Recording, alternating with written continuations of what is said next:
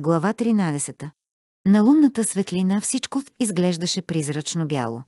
Постелките бяха разтлани на земята и пред всяка от тях се виждаше чифт бутуши.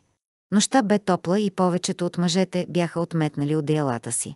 Монти разположи завивката си близо до хората си и се приготви за сън, ала една мисъл не му даваше мира. Как е сега Ерис? Тайлър и Зак не бяха толкова внимателни към нея, колкото му се искаше, но все пак и двамата бяха наблизо и навярно нищо лошо нямаше да й се случи. Не, че очакваше да се случи нещо, той имаше повече от десетина мъже, готови да й се притекат на помощ, ако се наложеше. А и нали тя бе далеч от Франк. Монти оправи завивката, нави одеялото за възглавница и легна, но не се чувстваше спокоен. Не му харесваше, че Ерис трябваше да спи под открито небе. В началото се бе отнесъл с пренебрежение към нейния фургон, ала сега, когато тя се намираше в неговия лагер, не мислеше така. По принцип, една жена не биваше да участва в подобно пътуване, но след като го бе направила, едва ли бе разумно да спи сред сумати мъже. И то на голата земя. Монти се обърна няколко пъти, опитвайки се да се намести по-удобно. Обикновено заспиваше, още щом главата му докоснеше възглавницата. Ала сега сякаш усещаше всеки стрък трева под себе си и земята му се струваше прекалено твърда. Нищо нямаше да й се случи. Нямаше опасност да се промъкнат в лагера нито изгладнели вълци, нито пантери. А Ерис беше до сами фургона с провизиите и беше в безопасност, така както ако се намираше в леглото си от дома. Ала тя вече нямаше собствен дом. Къщата, скъпите мебели и всичко, с което бе свикнала, бе иззето от банката. Монти отново се размърда неспокойно. Наблизо се намираше фургонът с провизиите на ранчото двойно Д. За младия мъж бе добре дошло, че нейните работници се хранеха в лагера му. Така имаше възможност да ги наблюдава отблизо и да прецени на кого може да се довери и на кого не. Все пак се надяваше, че Ловел ще успее да поправи фургона на Ирис, когато стигнат във Форт Уорд. Вероятно тогава щеше да се почувства по-спокоен. Айрис отново щеше да има собствено легло. Той се обърна още веднъж. Вземи си партакешите и върви да спиш там, откъдето ще можеш да я наглеждаш. Изръмжа Хен. И тук съм си добре. Щом като се въртиш като пумпъл, май не си много добре. Или престани, или се премести. Все пак ние трябва да поспим. Монти почувства как се изчервява и бе готов да избухне. Искаше му се да цапне Хен през устата, ала щеше да стане още по-лошо. Бе благодарен, че тъмнината прикрива пламналото му лице. Той се изправи и грабна завивката си. Ще се преместя, но само за да не те тормозя повече. Аха, сигурно и коледа е през юли. Монти срита брат си. Хен се изхили и на него му се дощя да го ритне още веднъж. Айрис пеше спокойно. Монти забеляза, че турбите вече не бяха под главата й, а бяха привързани за седлото на коня й. Очидно бяха празни. Той се замисли. Чудеше се какво ли толкова имаше в тях и къде го бе скрила девойката. Явно беше нещо важно. Надяваше се да не е опасно. Нерешително се огледа къде да се настани. Под фургона с храната Тайлър спеше като заклан, а Зак се бе разположил до него. Наблизо пасяха оседланите коне за нощната стража. Нямаше къде другаде да се настани, освен до прелесната девойка. Монти стисна челюсти и разположи завивката си на около метър от спящата Ирис.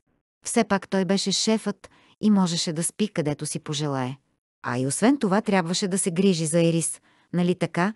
И ако някой трябваше да спи близо до нея, то това бе именно той. Обаче, след като се настани и се зави, Монти отново се почувства неспокоен. Да реши да спи до Айрис бе едно, а наистина да легне до нея бе съвсем друго. Никога преди това не бе виждал Айрис заспала. По дяволите не можеше да си спомни да е виждал която и да е друга жена заспала. Ако на времето някой му беше казал, че ще стои тук и ще я гледа как спи, той щеше само да й сумти презрително. Почувства се като глупак, но не можеше да откъсне поглед от нея. Не приличаше на онази Айрис, която флиртуваше с всеки срещнат мъж, нито пък на Айрис, която избухваше, щом някой не направи това, което е пожелала. Тази Айрис тук беше съвсем различна и той бе напълно запленен от нея. Докато я гледаше, той си спомни как преди години Роуз бе поканила семейство Ричмонд за коледа. Хелън не умееше да организира каквото и да е празненство, освен може би собствените си рождени дни. Мисълта за всякакви други празници беше съвсем чужда. Когато Роуз реши да поканят гости за коледа, тя преобрази цялата къща. Украси всяко кътче от дома с изкуствени снежинки, книжни ангелчета, звънчета, а Зак бе набрал клонки хмел. Напълниха 10 коледни чорапа с ябълки от Мисури, портокали от Мексико, ядки и шоколад, специално поръчан от Европа. Подаръците бяха толкова много, че камината едва се забелязваше. Ала най-интересното нещо беше едно голямо кедрово дърво, което Роуз бе украсила, както го правеха немците емигранти в Остин. Намирането на дървото бе възложено на близнаците. Джордж го украси с свещи и пуканки, нанизани на връв, а най-отгоре Роуз постави един порцеланов ангел, който бе останал от майка й. Когато Ерис влезе в къщата, застина като омагиосана, а очите й се разшириха от очудване. След това ходеше от стая в стая, без да може да откъсне поглед от окрасата, чорапите с подаръците и изобилието от лакомства. Бе омаяна от магията на коледа. Момиченцето бе забравило, че е красиво разглезено дете, което всички обожаваха. Беше просто едно обикновенно момиченце, което току-що бе открило нещо ново и вълнуващо. Монти никога не забрави този прекрасен ден, изпълнен с невинност и очарование. Дори и Хелън не бе успяла да помрачи магията на онзи следобед. Навярно това беше причината, поради която не можеше да забрави Ерис. В този миг осъзна, че може би все още търси невинното малко момиченце в красивата жена, в която Айрис се бе превърнала. Струваше му се, че в момента вижда пред себе си привлекателната червенокоса красавица с зелени очи, омайваща усмивка и фигура, която караше тялото му да изгаря в огън. Спящата девойка приличаше на ангел, който носеше мир и спокойствие. Всичко, което Айрис не беше. Все пак младият мъж чувстваше, че нещо от онази детска невинност се бе запазило в нея, поне в този миг. Толкова много му се искаше да е така. Господи, трябва съвсем да си е изгубил ума, що може да стои на лунната светлина и да гледа тази жена. Сигурно имаше стотици мъже, които бяха стояли в краката й и бяха молили за нейната благосклонност. Всеки човек изглежда невинен в съня си. Близначките Аурелия и Джулиет бяха типичен пример за това. Младият мъж не познаваше други такива дяволчета, които изглеждаха толкова невинни, а всеки ден обръщаха ранчото наопаки и прибавяха по един бял косъм в косата на Роуз. Навярно всички хубави жени изглеждаха така, когато спят. Ако Ерис изглеждаше по този начин и когато беше будна, сигурно никой мъж не би могъл да й устои. Подяволите не можеше да си позволи да бъде запленен толкова много от една жена, особено пък сега. Отпусна се на земята и се обърна с гръб към Айрис. Щеше да внимава да не й се случи нищо, но щом фургонът ти станеше готов, щеше да раздели стадата и двамата щяха да поемат по различни пътища. Може би щеше да бъде още по-добре, ако ги разделяха на поне още две други стада. И следващия път, когато кравите й побегнат, нека някой друг да ги събере. Не желаеше неговите животни да загубят от теглото си и да пристигнат измършавели в Лайоминг. Трябваше да бъдат охранени, за да могат всяка пролет да раждат здрави теленца, които да израснат и да могат да бъдат продадени на добра цена. Искаше да има най-богатото ранчо в Лайоминг. Искаше да докаже на Джордж и на всички останали, че го е постигнал съвсем сам. Не искам да имам нищо общо с него. Седмица по-късно Карлос разговаряше с сестра си. И никак не ми харесва да получавам заповеди от този човек. Монти и аз обсъждаме всичко всеки ден. Отвърна Ирис, като се опитваше да успокои брат си. Все едно, че получаваш заповедите от мен. Разговаряха от седлата, докато обикаляха стадото. Шумът от копитата и тропотът на рогата почти заглушаваше думите им. Времето продължаваше да бъде сухо и горещо. Все още не бе станало пладне, но ризата на Айрис бе мокра от пот. Е, изглежда, сякаш само той заповядва. И не ми харесва да съм заобиколен от всички тези Рандолф. Може и да се бият като кучета помежду си, но са готови да се съюзят срещу целия свят. Тайлър почти не излиза от фургона с храната и дори не знае дали сме още в Тексас или в Мексико. Отвърна раздразнено Айрис. А Зак е само едно преждевременно развито момче. Малките на гърмящата змия са също толкова опасни, колкото и голямата змия. Така е и с по-малките членове на семейство Рандолф. Никога не го забравяй. Не съм забравила нищо, което се отнася до семейство Рандолф, ядосано отвърна девойката. Монти два пъти ми спаси живота. И два пъти ми върна кравите, които бях изгубила. Джо и аз намерихме последните. Монти щеше да ги намери без вас. Аз му докарах само главоболия и неприятности, но той всеки път ми помагаше. А освен това ти даде и работа. Ти ми даде работата. Не. Монти първоначално не бе съгласен да останеш, но след това промени решението си. Защо? Това няма значение. Ако държиш да останеш, трябва да работиш с него.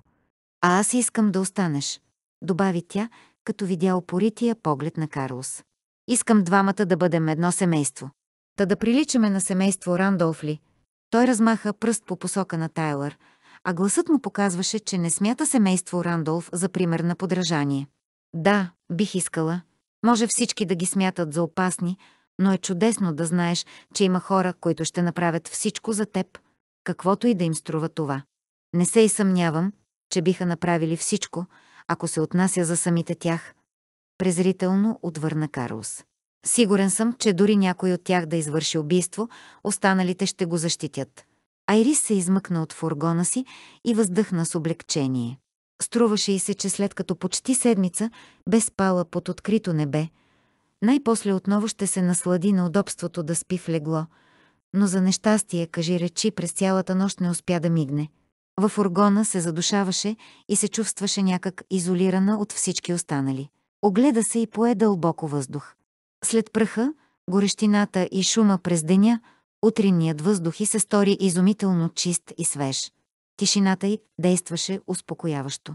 Наистина, шесте хиляди говеда вдигаха ужасен шум и това вече и действаше на нервите. Протегна се. Мускулите все още я боляха, но болката бе приятна. Колкото и странно да беше, на Ирис вече й харесваше да става рано сутрин преди изгрев слънце и да си ляга веднага, щом се стъмни. Само преди няколко месеца никога не би предположила, че може да става преди 9 часа и да си ляга преди полунощ. Погледна ръцете си и поклати глава. Кожата им беше загробяла и напукана, старите пришки се бяха превърнали в мазоли, но състоянието на ногтите й я накара да се намръщи. Винаги бе имала идеално поддържани ногти, а сега бяха отрязани.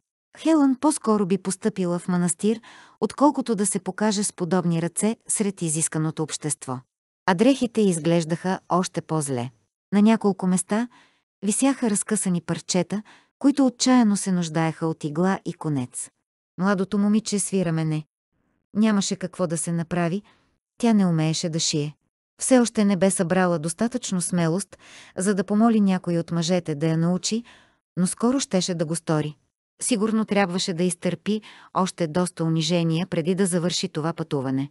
До слуха и достигна жалното мучене на теленце. Откакто онази крава я бе подгонила, вече можеше да разпознае този звук. Какво става? попита тя готвача, когато приближи до фургона с провизиите. Просто един от хората се кани да застреля телетата. Да застреля телетата, извика Ерис. И защо? Ние винаги застрелваме новородените телета или ги заменяме с фермерите срещу яйца и зеленчуци. Те са твърде слаби и не могат да останат със стадото. И къде ги води той? Не знам.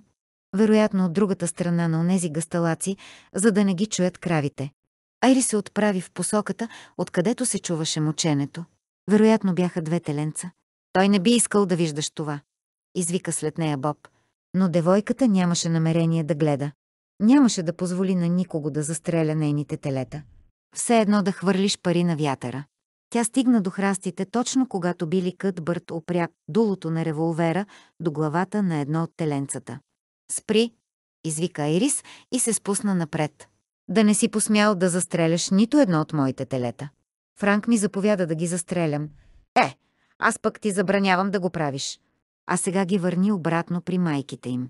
Но те ще умрат, рече Били. Майките им не могат да останат с тях. Тогава ние ще се погрижим за тях. Как? Тък му щеше да отговори, че не знае, когато и хрумна една мисъл. Отначало не й хареса особено, но после свира мене. Нямаше по-добро разрешение. А и нали трябваше да свикне с мисълта, че кравите са по-важни от хората, особено от самата нея. Ще ги настаним в моя фургон. Да не си полудяла. извика Бил. Девойката се засмя. Май се налага да отстъпя фургона си за тези две теленца. А ти къде ще спиш? На земята. Няма да повярваш, но спането на открито ми липсва. Били тръгна след нея, като си мърмореше под нос. Малко по-късно, тъкмо когато мъжете сваляха последните мебели от фургона, се появиха Монти и Соления. Какво става тук? попита Монти. Тя не ни позволява да застреляме тези телета, обясни Франк. Щяла да ги настани във фургона си и да се грижи за тях, докато укрепнат. Не виждам никакъв смисъл да се убиват малките телета, каза Ерис. Почувства се нервна от проницателния поглед на Монти, но бе решила да не отстъпва. Това не само е проява на разточителство, но е и жестоко. Монти продължи да я гледа втренчено, сякаш искаше да прочете мислите й. Не се мислеше по въпроса какво щеше да й каже, когато останеха сами. Само се молеше да не избухва пред станалите мъже. Нуждае се от всяка крава и от всяко теле. Продължи младото момиче. Ако застрелваме по две телета на ден, когато стигнем в Уайоминг, ще сме застреляли около 200. А това означава, че ще сме изгубили 2000 долара. А след три години телетата ще струват много повече. Всички знаят, че телетата трябва да бъдат застреляни, каза Франк. И явно всички са глупаци, рече Монти и слезе от коня. Това е най-добрата идея, която съм чувал от доста време. Той се обърна към соления. И ние трябва да се снабдим с фургон, купи от някой фермер. Ако трябва, изпрати някой да го купи от Форт Уърт, но тази вечер трябва да имаме фургон за малките телета. Наистина ли сама се сети за това? Попита той и се обърна към Айрис. Тя кимна. Бе толкова смаяна от думите му, че не можеше да говори. За пръв път да направи нещо, което Монти да хареса. И то толкова много, че да смята да постъпи като нея. Не беше сигурна дали няма да припадне от изненада или да подскочи от щастие. Можеш да оставиш телетата си в моя фургон, когато го купим, рече Монти. Няма нужда да се местиш от своя. Не го искам повече. Струва ми се неудобен, в него се чувствам като в клетка. Това ми се струва странно. Променила си се. Мислех, че си свикнала. Знам, но вече не съм такава. Монти я изгледа внимателно. Непрекъснато ме изненадваш. Аз самата съм изненадана. Никога не съм предполагала, че ще се откажа от леглото си и ще предпочета да спя на голата земя.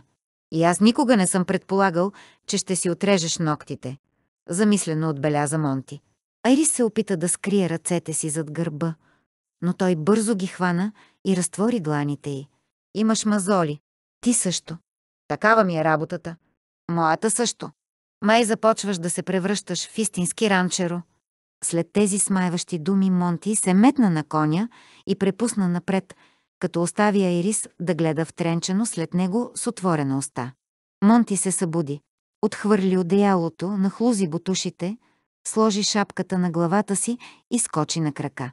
Имаше още половин час до изгрев слънце, но той винаги бе на крак, още щом отвори очи. Не се протягаше или излежаваше, за да подремне още малко. Винаги се събуждаше, изпълнен с енергия и желание за работа. Утринта бе хладна и слънцето все още не се бе показало и зад сивите облаци. Животните още спяха и наоколо цареше тишина. Останалите кълбои също все още не се бяха събудили напълно, но някои се размърдваха. Един мъж се бе подпрял на лакътя си и пушеше цигара. Ароматът на кафе и пържен бекон се смесваше с миризмата на тютюна. Монти обичаше това време на деня. Беше все още тихо и спокойно, преди да започне новия ден, изпълнен с работа и напрежение. Имаше време да помисли за това, което предстоеше. Тревогите от предишния ден бяха вече минало. Започваше новият ден, а с него и новите грижи. В лагера на Ирис бе тихо. След като нейният фургон беше поправен, тя се бе върнала да нощува в своя лагер. Монти бе казал, че трябва да опознае по-добре хората й, и през вечер също нощуваше в нейния лагер. Кафето е готово, каза готвачът и прекъсна работата си, за да подаде на Монти чаша горещо кафе. Той бе един от седмината мъже в лагера на Ирис, който не се оплакваше от заповедите на Монти. Благодаря. Отвърна Монти и пое чашата. Има ли нещо ново? Попита той и огледа мъжете над чашата си. Струва ми се, че нещо се мъти, но не знам какво. Готвачът говореше тихо. Има нещо, усещам го. С Франк ли е свързано? Не мога да кажа. Изглежда, че се държи еднакво с всички, но една част от хората знаят нещо, а останалите не. Дръж си очите отворени, каза Монти и стана. Той се отправи към мястото, където спеше Айрис. Поколеба се дали да я събуди. Искаше тя да се върне да нощува в неговия лагер. Девойката съзнаваше, че трябва да стои при хората си, но не се чувстваше спокойна. През по-голямата част от времето не се отделяше от Карлос или от Монти. Бе забелязал още нещо. Никога не позволяваше на хората да я докосват. Това включваше и самия него. След всички усилия, които бе положила, за да го накара да я забележи, сегашното й поведение го озадачаваше. Отначало реши, че след като бе постигнала целта си и го бе принудила да пътуват заедно до Лайоминг, тя вече е загубила интерес към него. Тази мисъл му причини болка, но той знаеше, че дори и да бе така, това не е единствената причина. Нещо безпокоеше Айрис, нещо, за което той нямаше ни най-малка представа. Това със сигурност не се дължеше на Карлос. Грижите около стадото не оставяха много свободно време на Монти, но всеки път, когато успяваше да им хвърли поглед, Айрис и Карлос разговаряха, допрели глави една до друга. Монти се хвана, че тази гледка, както и привързаността на Айрис към Карлос, го дразнят, макар той да й беше наполовина брат. Странното поведение на Айрис не се дължеше и на Риърдън. Той гледаше да не се мутае много-много из лагера и изчезваше веднага, щом се нахрани. Младият мъж не знаеше какво изобщо търсеше Риърдън в този лагер, освен че се опитваше да спечели малко пари, но натрапникът определено не му харесваше. Риърдън не бе от хората, които биха седели на такова място без някаква особена причина, и то изгодна за самите тях. Той беше жесток и опасен. Можеше да го прочете в очите му. Не, въпреки присъствието на Риърдън имаше нещо друго, и Монти бе решил да разбере какво е то. Защо той не разделя стадата? Обърна се Карлос към Айрис.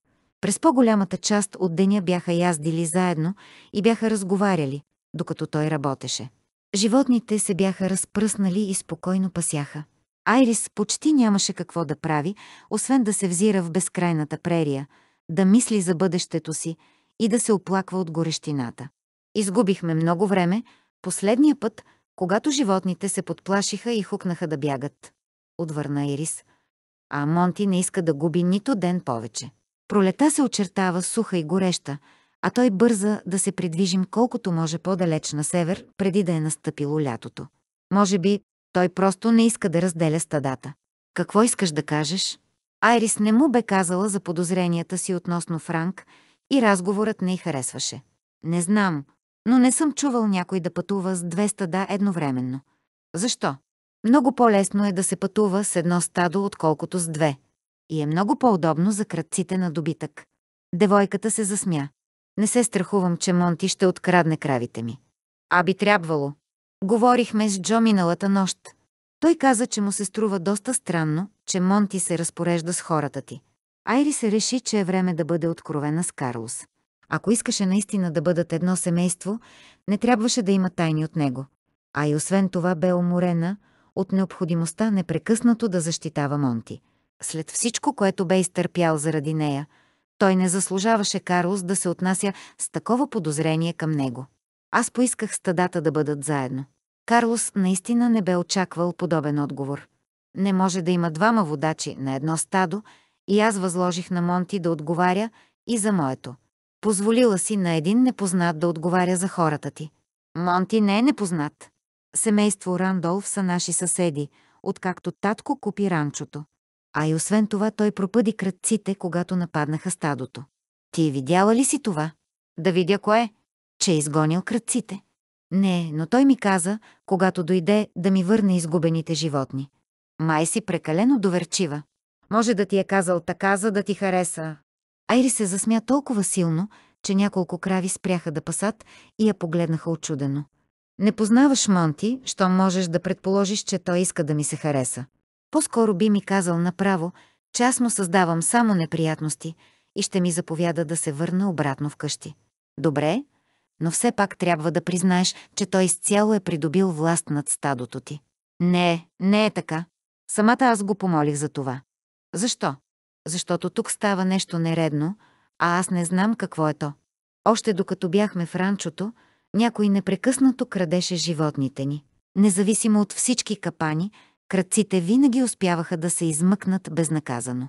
Искаш да кажеш, че са имали свой човек в ранчото? Сигурно. След това, като потеглихме, още в началото на пътуването някой подплаши стадото и се опитаха да откраднат нови животни.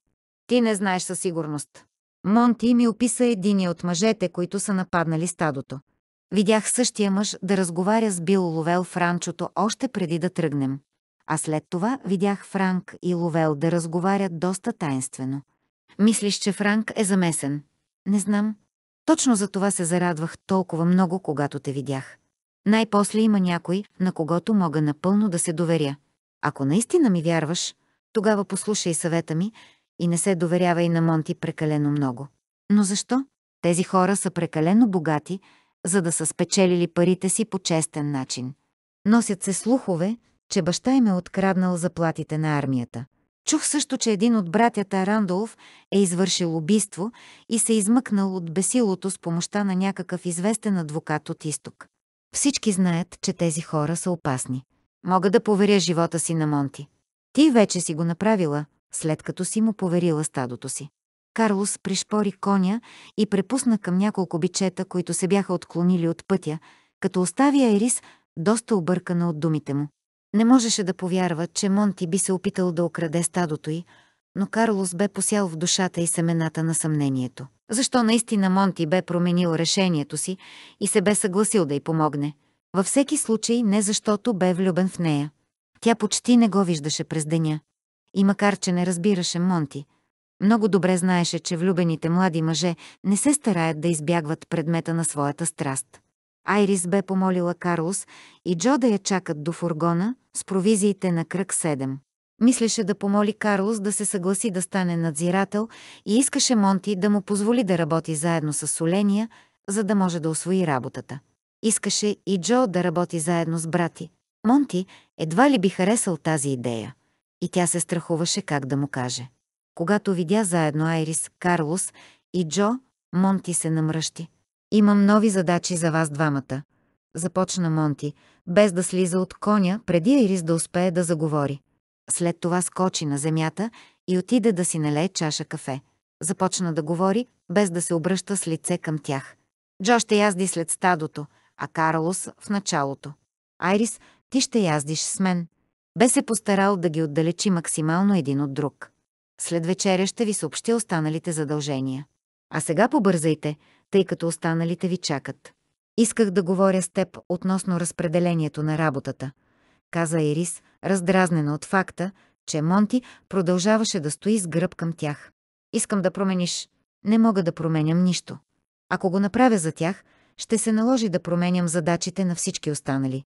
Монти отпи голяма глътка кафе, изхвърли останалото и подаде чашата на Тайлър. След това се обърна към Карлос и Джо. Какво още чакате? Нищо, отвърна Карлос и двамата се отдалечиха. Младият мъж се обърна към Майрис. Ще се върна след 15 минути. Ще си готова ли до тогава? Разбира се, но. Сега нямам време.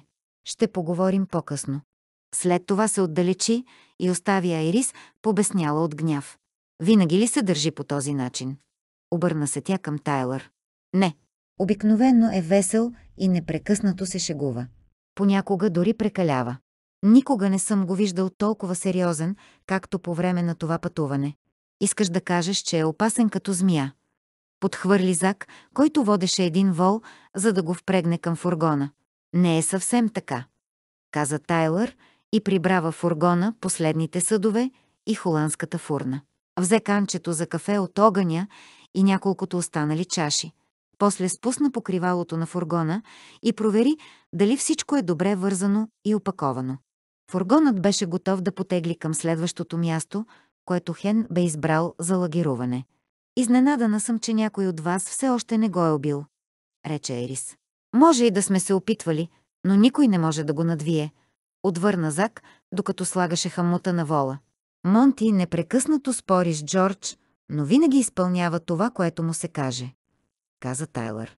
Не мога да повярвам, възкликна младото момиче. Никой от нас не може. Но Монти навярно би се опълчил и срещу самия Бог. Може би, но не и срещу Джордж. Направо не мога да повярвам. Никога до сега не съм срещала човек като него, човек, който винаги е убеден в правотата си. Не познаваш Джордж? Обади се Зак. Да, наистина не го познавам. Съгласи се девойката. Но може би ще го опозная. Джордж никога не злоупотребява с властта и положението си. Рече Тайлър и седна, за да чака Хен. Но всичко, което той казва, се изпълнява. Монти може и да пухти като жаба, и да недоволства, но все пак му се подчинява. Не би докоснал Джордж дори и с пръст. Защо? Попита Ирис. Не можеше да повярва, че Монти може да уважава някого чак толкова много. От една страна, защото Джордж е по-силен от него, а от друга, защото Роуз няма да му позволи. Роуз! възкликна младото момиче. Та тя едва стига до кръста на Монти. Роуз не би позволила на никого да безпокои съпруга й, рече Зак. Тя ще стреля по Монти, ако опита да се сбие с Джордж. С ловджийската пушка, поясни Тайлър. И Монти ще измъква съчми от задника си поне половин година. След този разговор Айрис не знаеше дали всички от семейство Рандолф са луди, включително Роуз, или самата тя е на път да полудее. Обаче твърдо реши да не позволява на Монти да прави повече забележки относно нейното семейство. Майка й може да беше изключителна егоистка, а баща й прекалено мекошав и отстъпчив, но поне си бяха съвсем нормални хора. Тък му се канеше да попита още нещо, когато Хен пристигна. Той скочи от седлото, а Зак и Тайлър побързаха да отведат коня му. Хен взе една чаша изтинало кафе, отпи набързо няколко големи глътки и изхвърли останалото. Преди да тръгнеш, напълни варела с вода, каза той на Тайлър, че скоро няма да попаднем на свестен поток. Защо? попита Ирис. Не е валяло.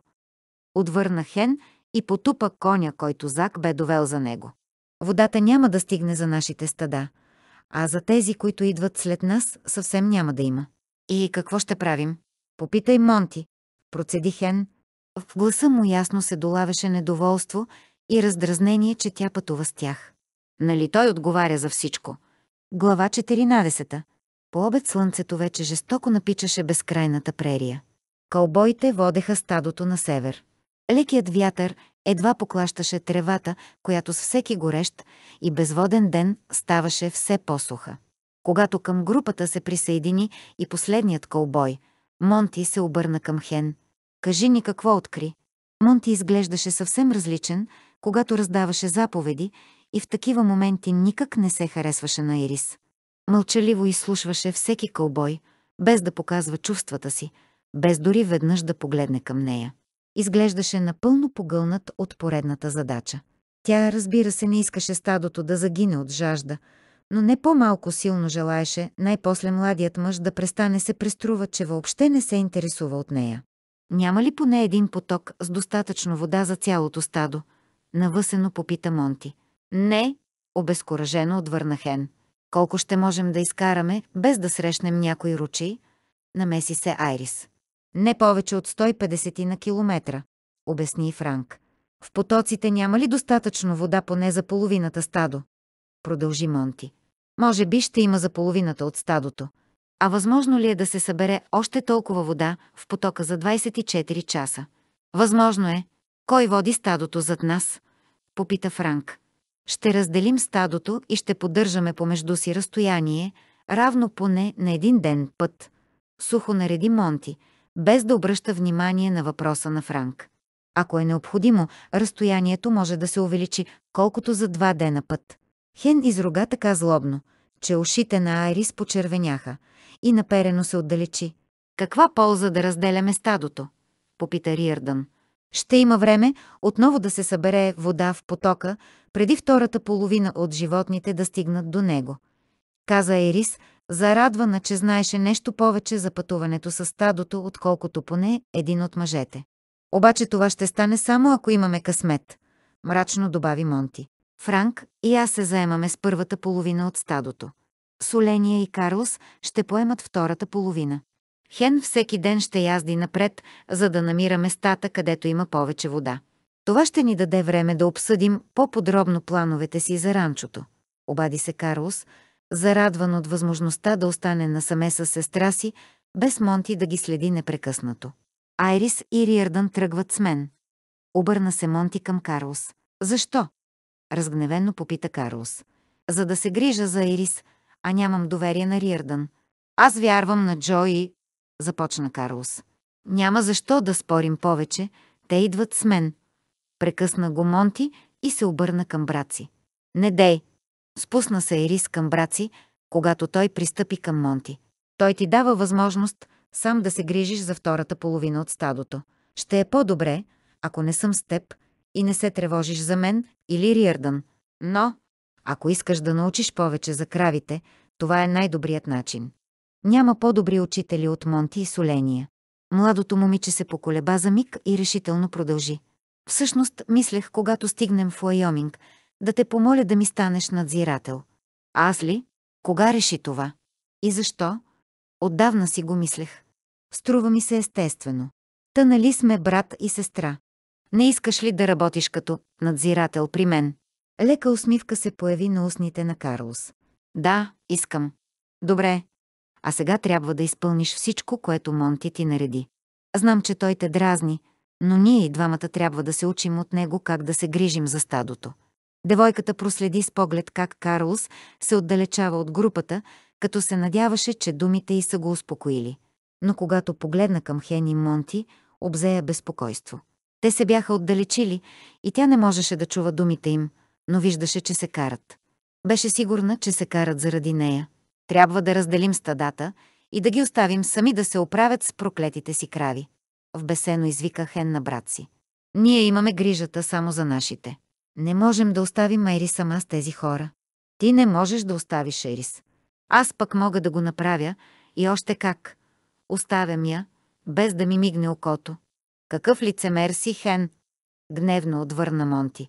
А иначе винаги се държиш пред жените като дяволски добро момче, любезничиш с тях, обсипваш ги с комплименти и сякаш мед ти капе от устата. Дори твърдиш, че аз съм груб и недодялан. Аз винаги се държа така с дамите. Но Айрис не е никаква дама. Монти усети как гневът замъглява съзнанието му. Той и неговият брат-близнак не се разбираха за много неща, но Хен никога досега не го бе вбесявал толкова много. Искаше му се да го удуши. Сграбчи Хен за ризата и силно го разтърси. Знам, че не харесваш Айрис, но не смей повече да говориш така за нея. Ще говоря каквото си искам, изкрещя Хен. Няма да го направиш, защото ще ти щупя главата. Съвсем типично е за теб. Винаги да се нахвърляш върху всеки го, който не е съгласен с мнението ти. А ти винаги заплашваш с убийство. Аз не заплашвам, уточни Хен. Аз просто го правя. Това предполагам, означава, че аз не съм чак толкова кръвожаден, като теб, Монти, пусна брат си и отстъпи няколко крачки. Но поне държа на думата си. Айрис ще пътува с нас и дори ще поговоря с нея да останем заедно до края на пътуването. Надявам се, че този край ще дойде по-скоро. Отвърна Хен и оправи ризата си. И без това тя вече ни докара прекалено много ядове. Монти отвори уста да му възрази, но се спря. Вината не беше на Ирис, но наистина всички неприятности започнаха, когато тя се появи. Знае, че се безпокоиш, че няма да има достатъчно вода, рече той. Помисли по въпроса, а аз ще се погрижа за Ирис. По-добре ти помисли внимателно, преди да се обвържеш съвсем с тази жена. Тросна се Хен и извика на Зак да му доведе един кон. Някакви неприятности ли имаш? Айри се приближи към Монти. Не. Хен просто се разгорещи. Той погледна нагоре към ясното небе. Ти се моли да завали дъжд. И дано да е проливен. И следващият ден беше горещ и задушен. Наоколо се простираха заоблени хълмове, покрити с гъста трева. Слънцето печеше от безоблачното небе и немилостиво разливаше жарта си върху изсъхналата земя. Птиците кръжаха наоколо, за да намерят малко храна, преди да са настъпили най-тежките часове на деня, когато горещината ще е станала непоносима. В далечината се виждаха антилопи с извити рога, които гледаха към стадото, което се надигаше от земята, за да поеме дългия път на север. Мочащите крави се събраха около фургона с теленцата. Монти възнамеряваше да изминат днес колкото е възможно по-голямо разстояние. Днес ще пътуваме по-спокойно, каза той, като се качваше на коня. Но следващите два-три дни ще бъдат по-трудни. Смяташ ли, че ще успеем да се справим? Попита Айрис. Тя имаше доверие в Монти, но беше много притеснена от опасността да изгуби стадото си. Ще се справим, увери младият мъж, преди да препусне напред. Денят се очертаваше по-горещ от всички досега. По обед слънцето печеше както в Тексас през месец август. Монти призна пред себе си, че през последните седмици също беше голяма жега, но той сякаш едва днес забелязваше колко е горещо, защото се тревожеше дали ще има достатъчно вода. Само като помислеше за водата и ожадняваше. Иначе денят започна спокойно. Кравите не изглеждаха уморени и пасоха спокойно до мръкване. След това налягаха по тревата. Днес сме изминали около 40 километра, каза Монти на хората си. Искам добре да си починете и веднага да лягате да спите, а не да дрънкате или да играете на карти. Всеки трябва да е наясно, че няма излишно време за празни приказки. След няколко дни сигурно няма да можем да спим от умора.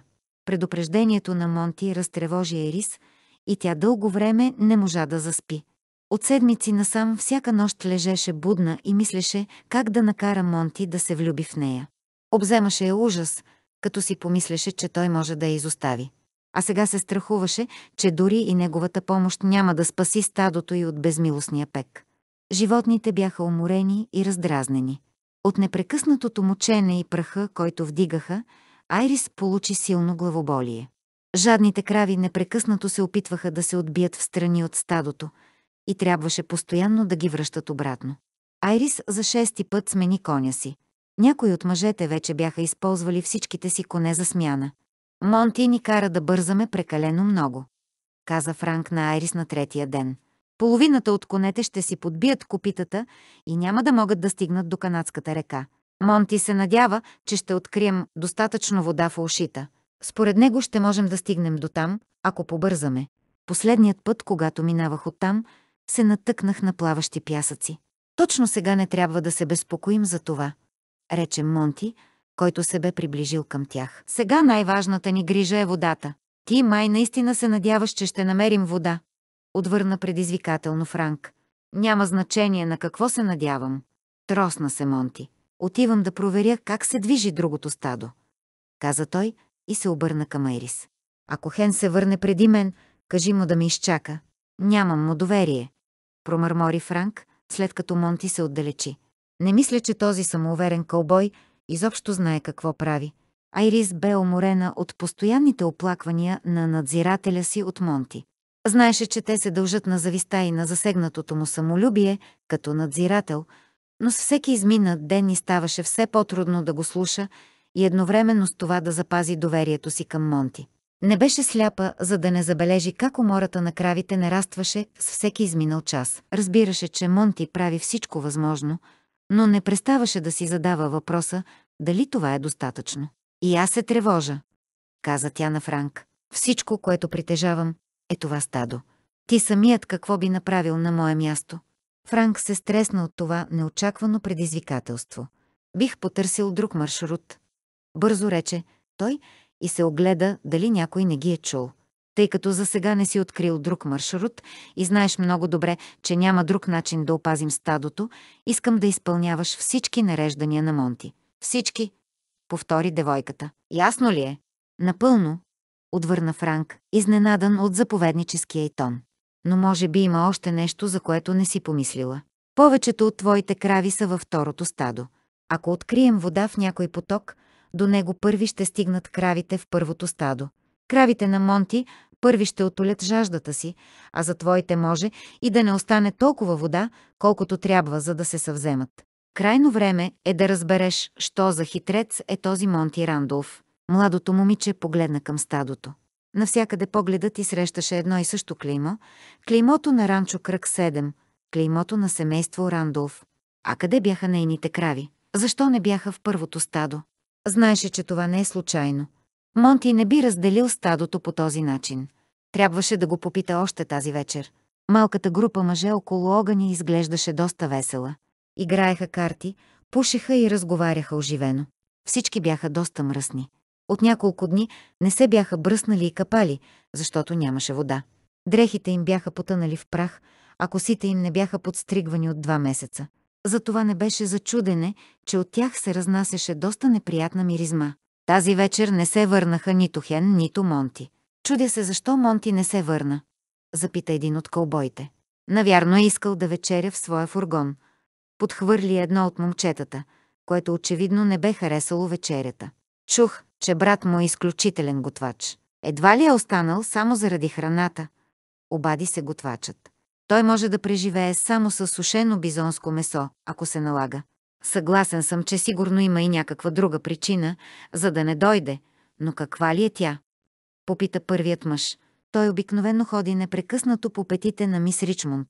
Може би е отишъл да види какво става с другото стадо. Предположи готвачът. Не, Монти има пълно доверие в соления. Е, аз пък на него не му вярвам, обади се второто момче. И той въобще не ми допада. Може би си му е досан, защото уволни Клем. Нямаше право да го стори. Може би, но го направи. Мисля, че е по-добре, момчета, ако се качите на конете си, каза готвачът. Все още нито една крава не е легнала. Измина повече от час, преди уморените животни да налягат по тревата, но повечето от тях бяха неспокойни, защото жаждата ги измъчваше. В скоро време ще престанат да ни се подчиняват, предрече Франк. Сигурен съм в това. Никой не му отговори. С всеки изминат ден Айрис губеше вярата си, че Монти ще успее да открие вода, преди животните да измрат от жажда. Вече много трудно можеха да ги съберат и да ги накарат да легнат да спят. Отчаяни от жаждата, кравите непрекъснато се опитваха да се върнат обратно към последното място, където бяха пили вода.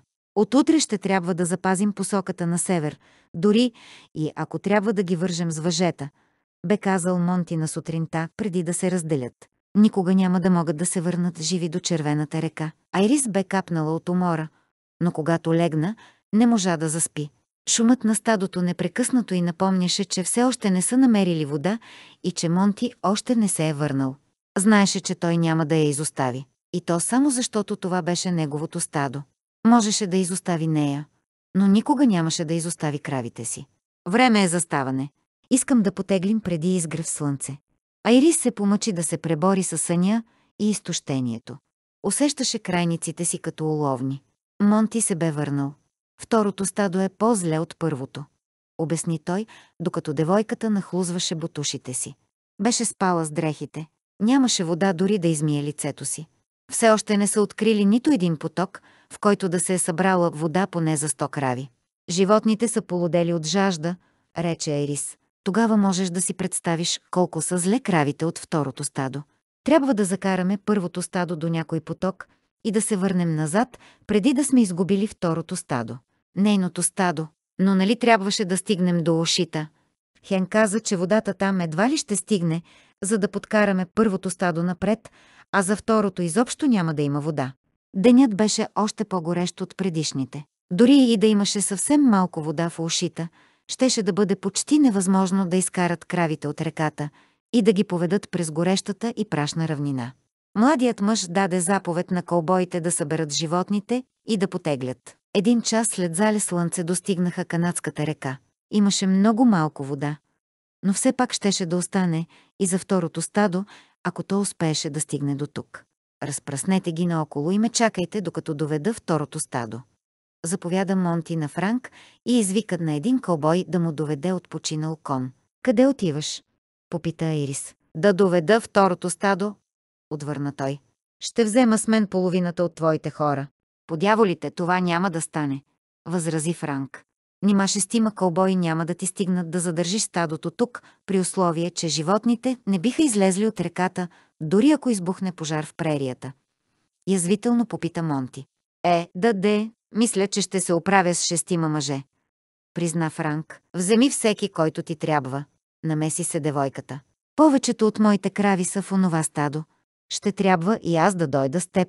Монти понечи да възрази, но внезапно промени решението си. Бъди готова да тръгнем след пет минути. В първия миг Айрис не разбра защо Монти бе решил да вземе част от хората и със себе си. Едва когато се качиха на конете, тя разбра, че е подбрал всички мъже, на които нямаше доверие. Ако Франк се опиташе да открадне добитъка, нямаше да има кой да му помогне. Девойката се запита защо ли се бе усъмнила в Монти. Всичко щеше да бъде много по-лесно, ако той бе намерил време да й обясни някои неща, но напоследък винаги се случваше така, че беше далеч от нея. Беше поступила глупаво, като се поддаде на страховете си и на непрекъснатите подозрения на Карлос или Франк, които искаха да я накарат да престане да се доверява на Монти. А той бе единственият човек, който никога до сега не я бе подвеждал. Трябваше да го попита, трябваше да разбере. Защо толкова голяма част от моите крави са във второто стадо? Мислиш, че съм го направил нарочно ли? Знам, че не си. Просто се питах. Тя не искаше да му признае, че Франк бе посял семето на съмнението в душата й. Срамуваше се да си го признае. При такова пътуване кравите привикват с придружителите си. Обясни и той. След известно време те сами си изработват определен ред, който спазват през целия път. Моите бичета вървят отпред, а кравите ги следват.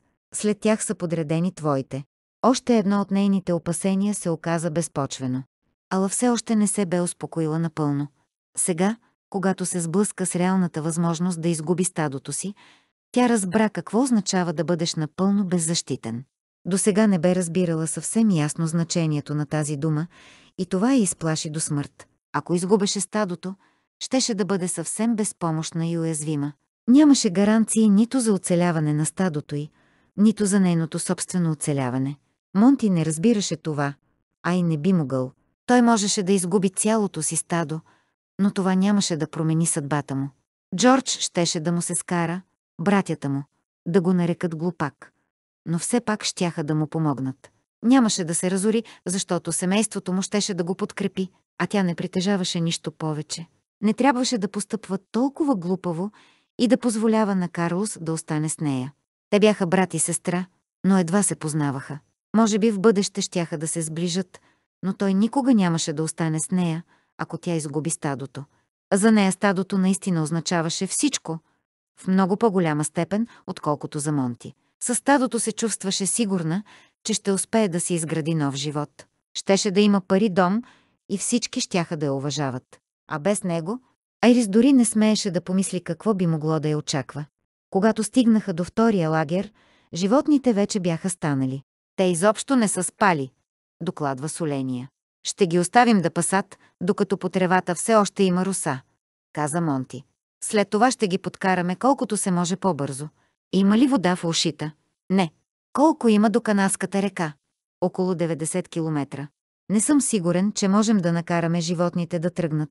Трябва да ги накараме. Довел съм светкавицата. Може би ще тръгнат след него. Големият черен бик имаше бели ивици на гърба и сиви петна по корема. Начупената бяла линия по гърба, на която дължеше прякора си, започваше от дясното му рамо и достигаше до задния му крак. Айри се страхуваше от него, а Монти се отнасяше с бика като с послушно домашно животно. «Ние вече си имаме наш бик-водач», каза Карлос. Светкавицата знае, че напред го очаква вода, а вашият бик-водач не знае това. Той знае само, че местата с вода са останали назад. Ако ще тръгваме, по-добре е да не се бавим, намеси се Хен. Карлос съвсем не беше доволен, че се налага да работи с Монти и Хен. Айрис реши, че на брати трябва да му се възлага повече работа и отговорности, за да се почувства по-ценен.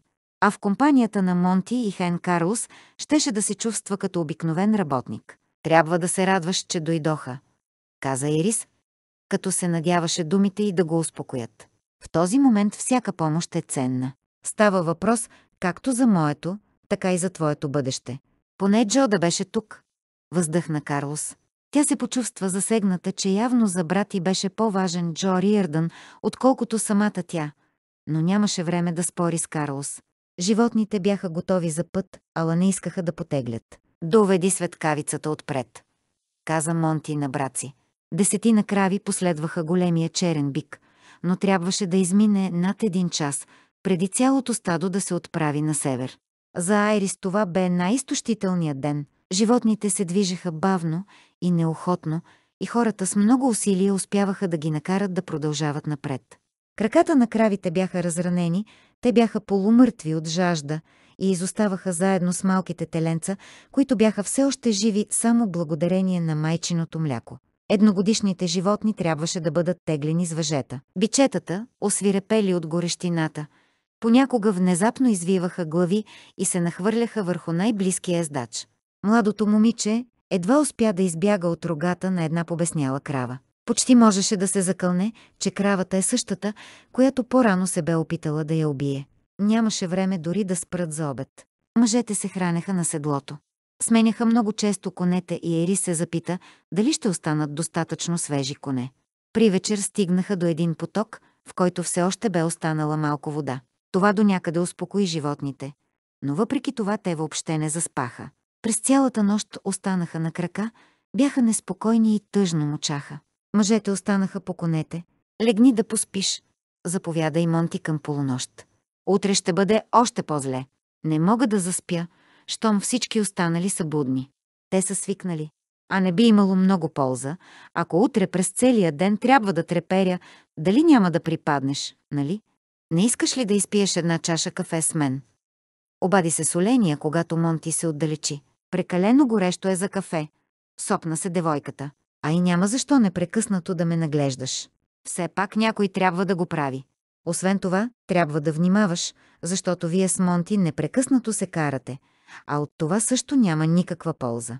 Чак сега Ирис разбра, защо всички толкова много харесваха соления.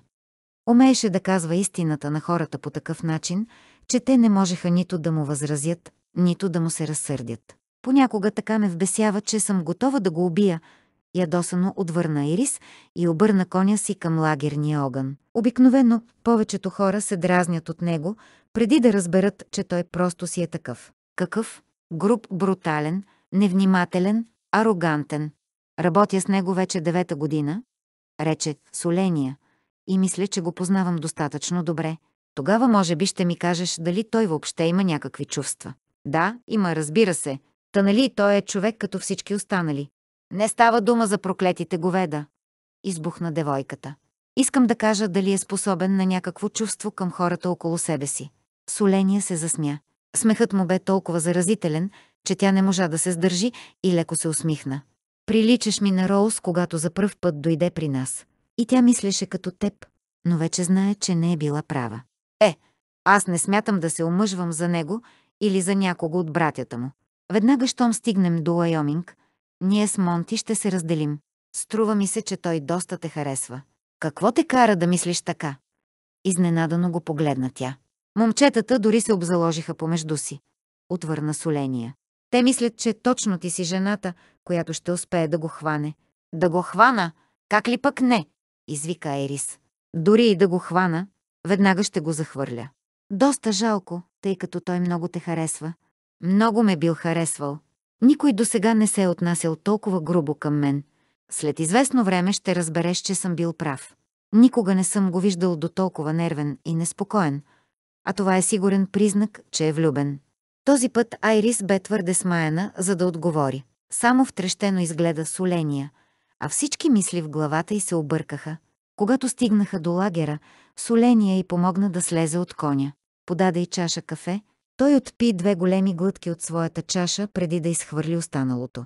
Постой тук за малко, рече той и подаде чашата си на Тайлър. По-добре да огледам момчетата. Никога не знаеш кога някой от тях може да заспи на седлото. Глава 15. Айрис му кимне разсеяно. Сега трябваше да мисли за много по-важни неща, отколкото за кълбоите, които ще ли да изпопадат от седлата заради умората. Монти не беше влюбен в нея. Това беше абсурдно. Та нали той правеше всичко възможно, за да не остава насаме с нея. Но в този миг девойката не можеше да се съобразява с чувствата на Монти. Сега бе напълно изненадана от своите собствени чувства. Тя беше влюбена в Монти. И то още от онзи миг, в който го бе зърнала за пръв път на онова празненство. Заради него се бе осмелила да прекоси залата и да го покани на танци. Това по нищо не приличаше на любовните й увлечения в училището — беше реакция на зряла жена, която най-после е срещнала мъжа, заради когото може да отхвърли всички предупреждения на здравия разум. Може би за това през тялото й преминаваха такива странни тръпки, когато красивият русокос Монти се оказваше близо до нея. Дали всички жени усещат нещо подобно в присъствието на своя любим? Господи, каза си Айрис. Това не може да е истина. Със сигурност Не искаше да се влюбва в Монти. Той може да беше въплъщение на всичко, което тя би могла очаква от един мъж. Но едновременно с това имаше всички черти, които не искаше да вижда у мъжа. Никоя жена не желаеше да се влюбва в мъж, който олицетворява най-лошите й кошмари. Освен това, сега тя се бе научила да мисли много по-практично. Всичко беше обмислила. Бродеше из тези необятни и безводни прерии, защото нямаше друг избор. Беше избрала Монти, защото той бе най-добрият водач на стада и се оказа безценен по време на изключително тежкото пътуване до Айоминг. Не се отделяше от него само защото не бе сигурна дали няма да изчезне зад следващия хълм, ако не го държи под око. Наистина, веднъж той бе откраднал една целувка и това й бе харесало, но още не означаваше нищо за Ерис. И други мъже я бяха целували и също й беше харесвало, но това все още съвсем не означаваше, че е влюбена в някого от тях. Все пак трябваше да си признае, че само с една целувка младият мъж бе успял да я накара да забрави за всички останали целувки. Не искаше да се провалят плановете й. Вече бе станала здравомислеща, прагматична жена. Вече знаеше какво иска, от какво има нужда, а знаеше и как да го постигне. Щеше да накара Монти да я заведе до Айоминг. Дори щеше да го убеди да й помогне да уреди ранчото си, да я подкрепи в първите изтъпки. Но веднага, щом си стъпеше на краката, щеше да се върне отново в Сейнт Луис. Имаше там някои сметки за уреждане. А след това, навярно ще трябва да се омъжи.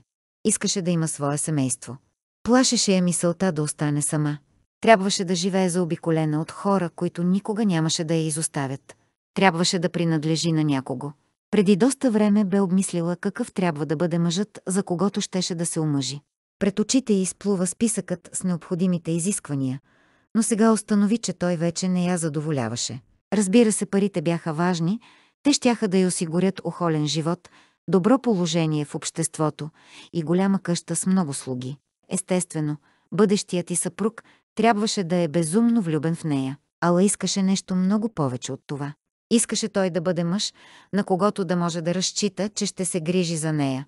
На този свят имаше много по-лоши неща от бедността и тя искаше да има съпруг, който щеше да я защити от тях. Наистина трябваше да я обожава, но това не означаваше, че трябва сляпо да й се подчинява. Трябваше да бъде интересен, а понякога може би и малко груб. Никога не би искала отново да предприеме подобно пътуване, но трябваше да си признае, че сега Сейнт Луис и се струваше доста скучен. Трябваше да бъде уверен в себе си и в отношението си към нея. Дори понякога можеше да бъде и малко агресивен. Това не означаваше, че тя щеше да му се покорява безпрекословно, ала все пак би било скучно, ако съпругът ти бъде прекалено плах. А и освен това, ако тя не беше толкова ценна за него, и ако страстта му не го караше понякога да нарушава поне малко границите на доброто възпитание – това щеше да означава, че не я обича достатъчно, нали? О, небеса, та ти току-що описа Монти. Нима искаш да се омъжиш за Монти. Айрис едва не припадна. Нямаше начин да е влюбена в Монти. Сигурно тези объркани мисли се дължаха на умората й. Шега ли е да прекараш 18 часа на седлото в непрекъснати тревоги да не изгубиш стадото си? Може би горещината, прахът и шумът са помрачили разсъдъка й. Сигурно това е причината. Тя просто не е на себе си. Беше толкова уморена и объркана. Когато стигнат в Уайоминг, всичко щеше да се оправи от само себе си. Трябваше да се наспи и вероятно на сутринта всичко щеше да изглежда другояче. Да, наистина се нуждаеше от почивка.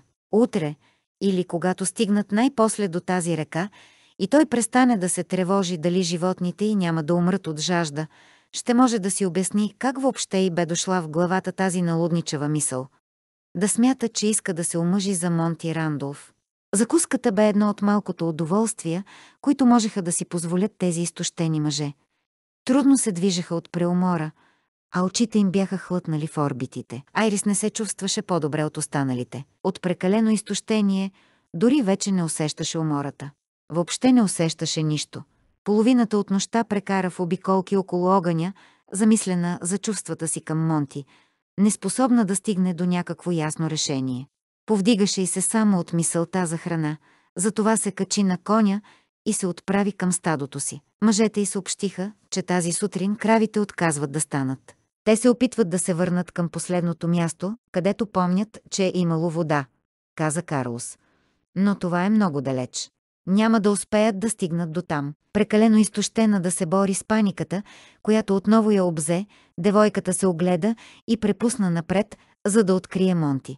Дори той няма да може да ги накара да станат. Извика зад гърба и Карлос. Ще изгубиш цялото това проклето стадо. Айрис не спря, за да му отговори. Налагаше се да намери Монти. Той трябваше да знае какво може да се направи. Длъжен беше да знае. Всички кълбои бяха прекалено изтощени от усилията да спрат кравите, които непрекъснато правеха опити да се върнат назад към водата. Младото момиче стигна до началото на стадото и видя десетина мъже на коне, които чакаха. Монти не се виждаше сред тях. Какво се е случило? Попита тя с оления. Животните не искат да следват светкавицата. Айрис изгледа хилядите изтощени говеда, които се бяха разпръснали на стотици акра назад, измъчени от жаждата и умората. Монти се страхува, че ще тръгнат на посоки и че няма да последват бика водач. Ще тръгнат на посоки. Повтори тя. Защо? Заради жаждата. Знам, че това е безсмислено, но понякога се случва и нищо не може да ги спре да се върнат към последното място, за което си спомнят, че са пили вода. В гърдите й започна да се надига паника. Сигурно беше, че ще изгуби стадото. Соления вдигна поглед към хоризонта. Може би се задава дъжд, но няма да е много скоро. Айрис не го попита откъде му хрумна това, тъй като небето беше кристално чисто. Ала щом нямаше да е много скоро, в момента нямаше значение дали греши или не. Къде е Монти? попита тя. Ето там. Соления се обърна и посочи с ръка към лагера.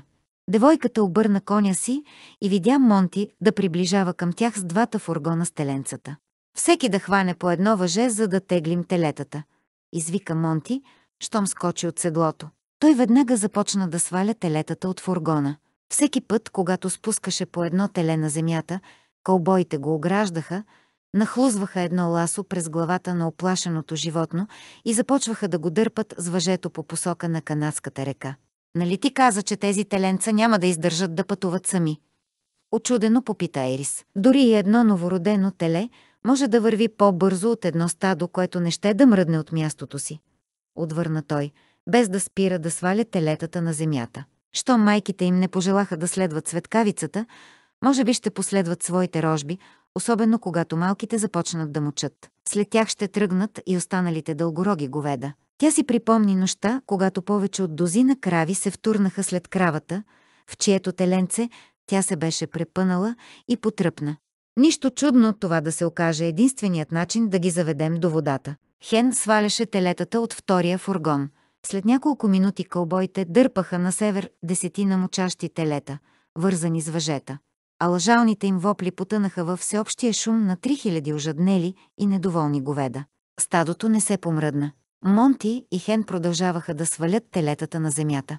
Общият им брой надминава 25. Телетата вече бяха повече от мъжете, затова останалите бяха вързани с въжета към двата фургона. Когато фургоните бавно потеглиха, телетата започнаха да мучат. Стадото все още не помръдваше. Разпръснете ги, заповяда Монти. Минете в стадото. Никой не помръдна. Защо не изпълняват заповедите му? Попита Ерис водача на фургона. Прекалено опасно е, обясни мъжът. Ако тези дългороги говеда побеснеят. А сега не са далеч от това състояние. Човекът, който се озове в средата на стадото, ще бъде премазан. Тя се извърна към стадото. Все още нито едно животно не бе помръднало. Прекалено късно е, продължи водачът на фургона. Вече започват да се обръщат назад.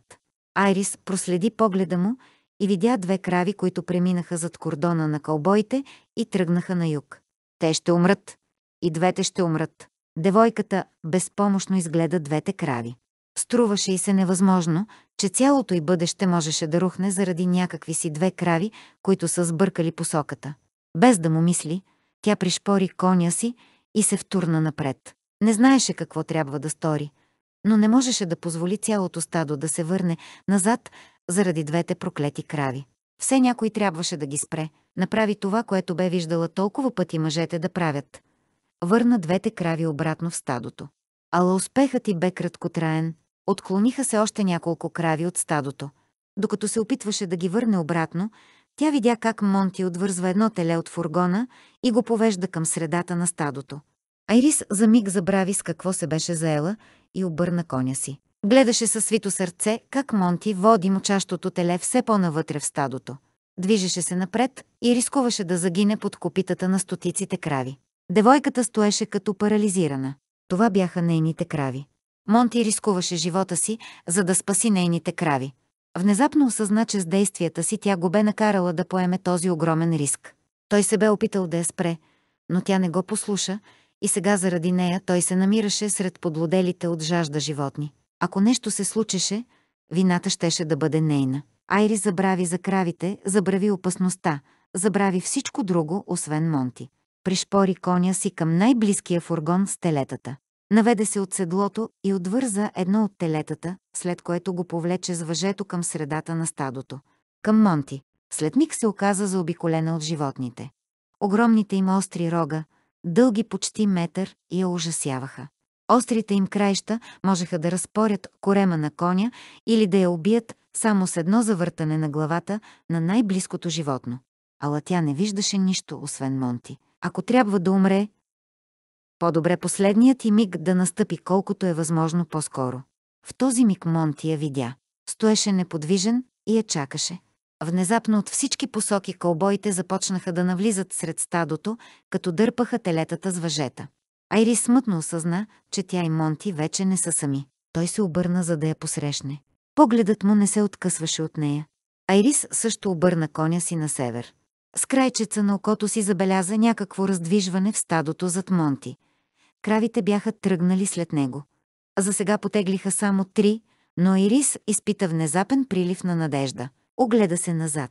Тръгваха още крави, с наведени глави, без да спират да мучат. Видя и други групички от крави, които потегляха след телетата. Към тях се присъединяваха нови и нови групи и огромното море от животни се раздвижи. Стадото потегли. Животните тръгнаха към водата. Айрис не разбра какво стана с нея, но повече не чувстваше умора. Хрумването на Монти и смелостта му да го осъществи бяха успели да спасят стадото. Тя също му бе помогнала и бе успяла да преодолее страха си. Младата жена още не можеше да осъзнае как се бе осмелила да направи това, което тези корави мъже не бяха посмели. Тя не беше от най-смелите, нито пък беше глупава. Постъпката й бе съвсем необичайна за нея и противоречеше на всички съвети на майка й. Ако трябва да направиш нещо опасно, винаги можеш да намериш някой глупак, когато да накараш да го извърши вместо теб. Айрис знаеше защо бе постъпила така и заради кого. Бе последвала Монти, защото го обичаше. Не можеше да постъпи другояче. Дъждът заваля късно след обед. Отначало небето беше ясно. След половин час се изсипа пороен дъжд. Животните нямаше защо да чакат, докато достигнат до канадската река. Можеха да отолят жаждата си в калните локви, които се образуваха в стотиците дубки из прерията.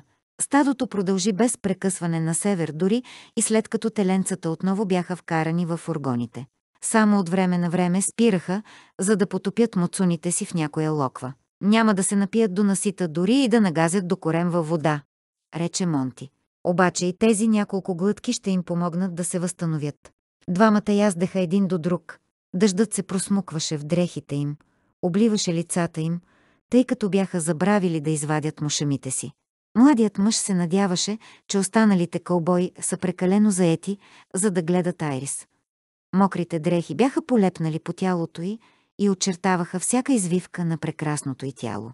Заоблените й гърди изпъкваха под мократа риза. Монти усети как пулсът му се ускори, когато зърна очертанията на зърната й. Полата също прилепваше плътно към бедрата й, но не прозираше, за разлика от ризата. Той отвърза му шамата от седлото си. Ето, покри се с това, каза Монти. Защо? И без това вече съм мокра. Знам, но не искам и другите да го разберат.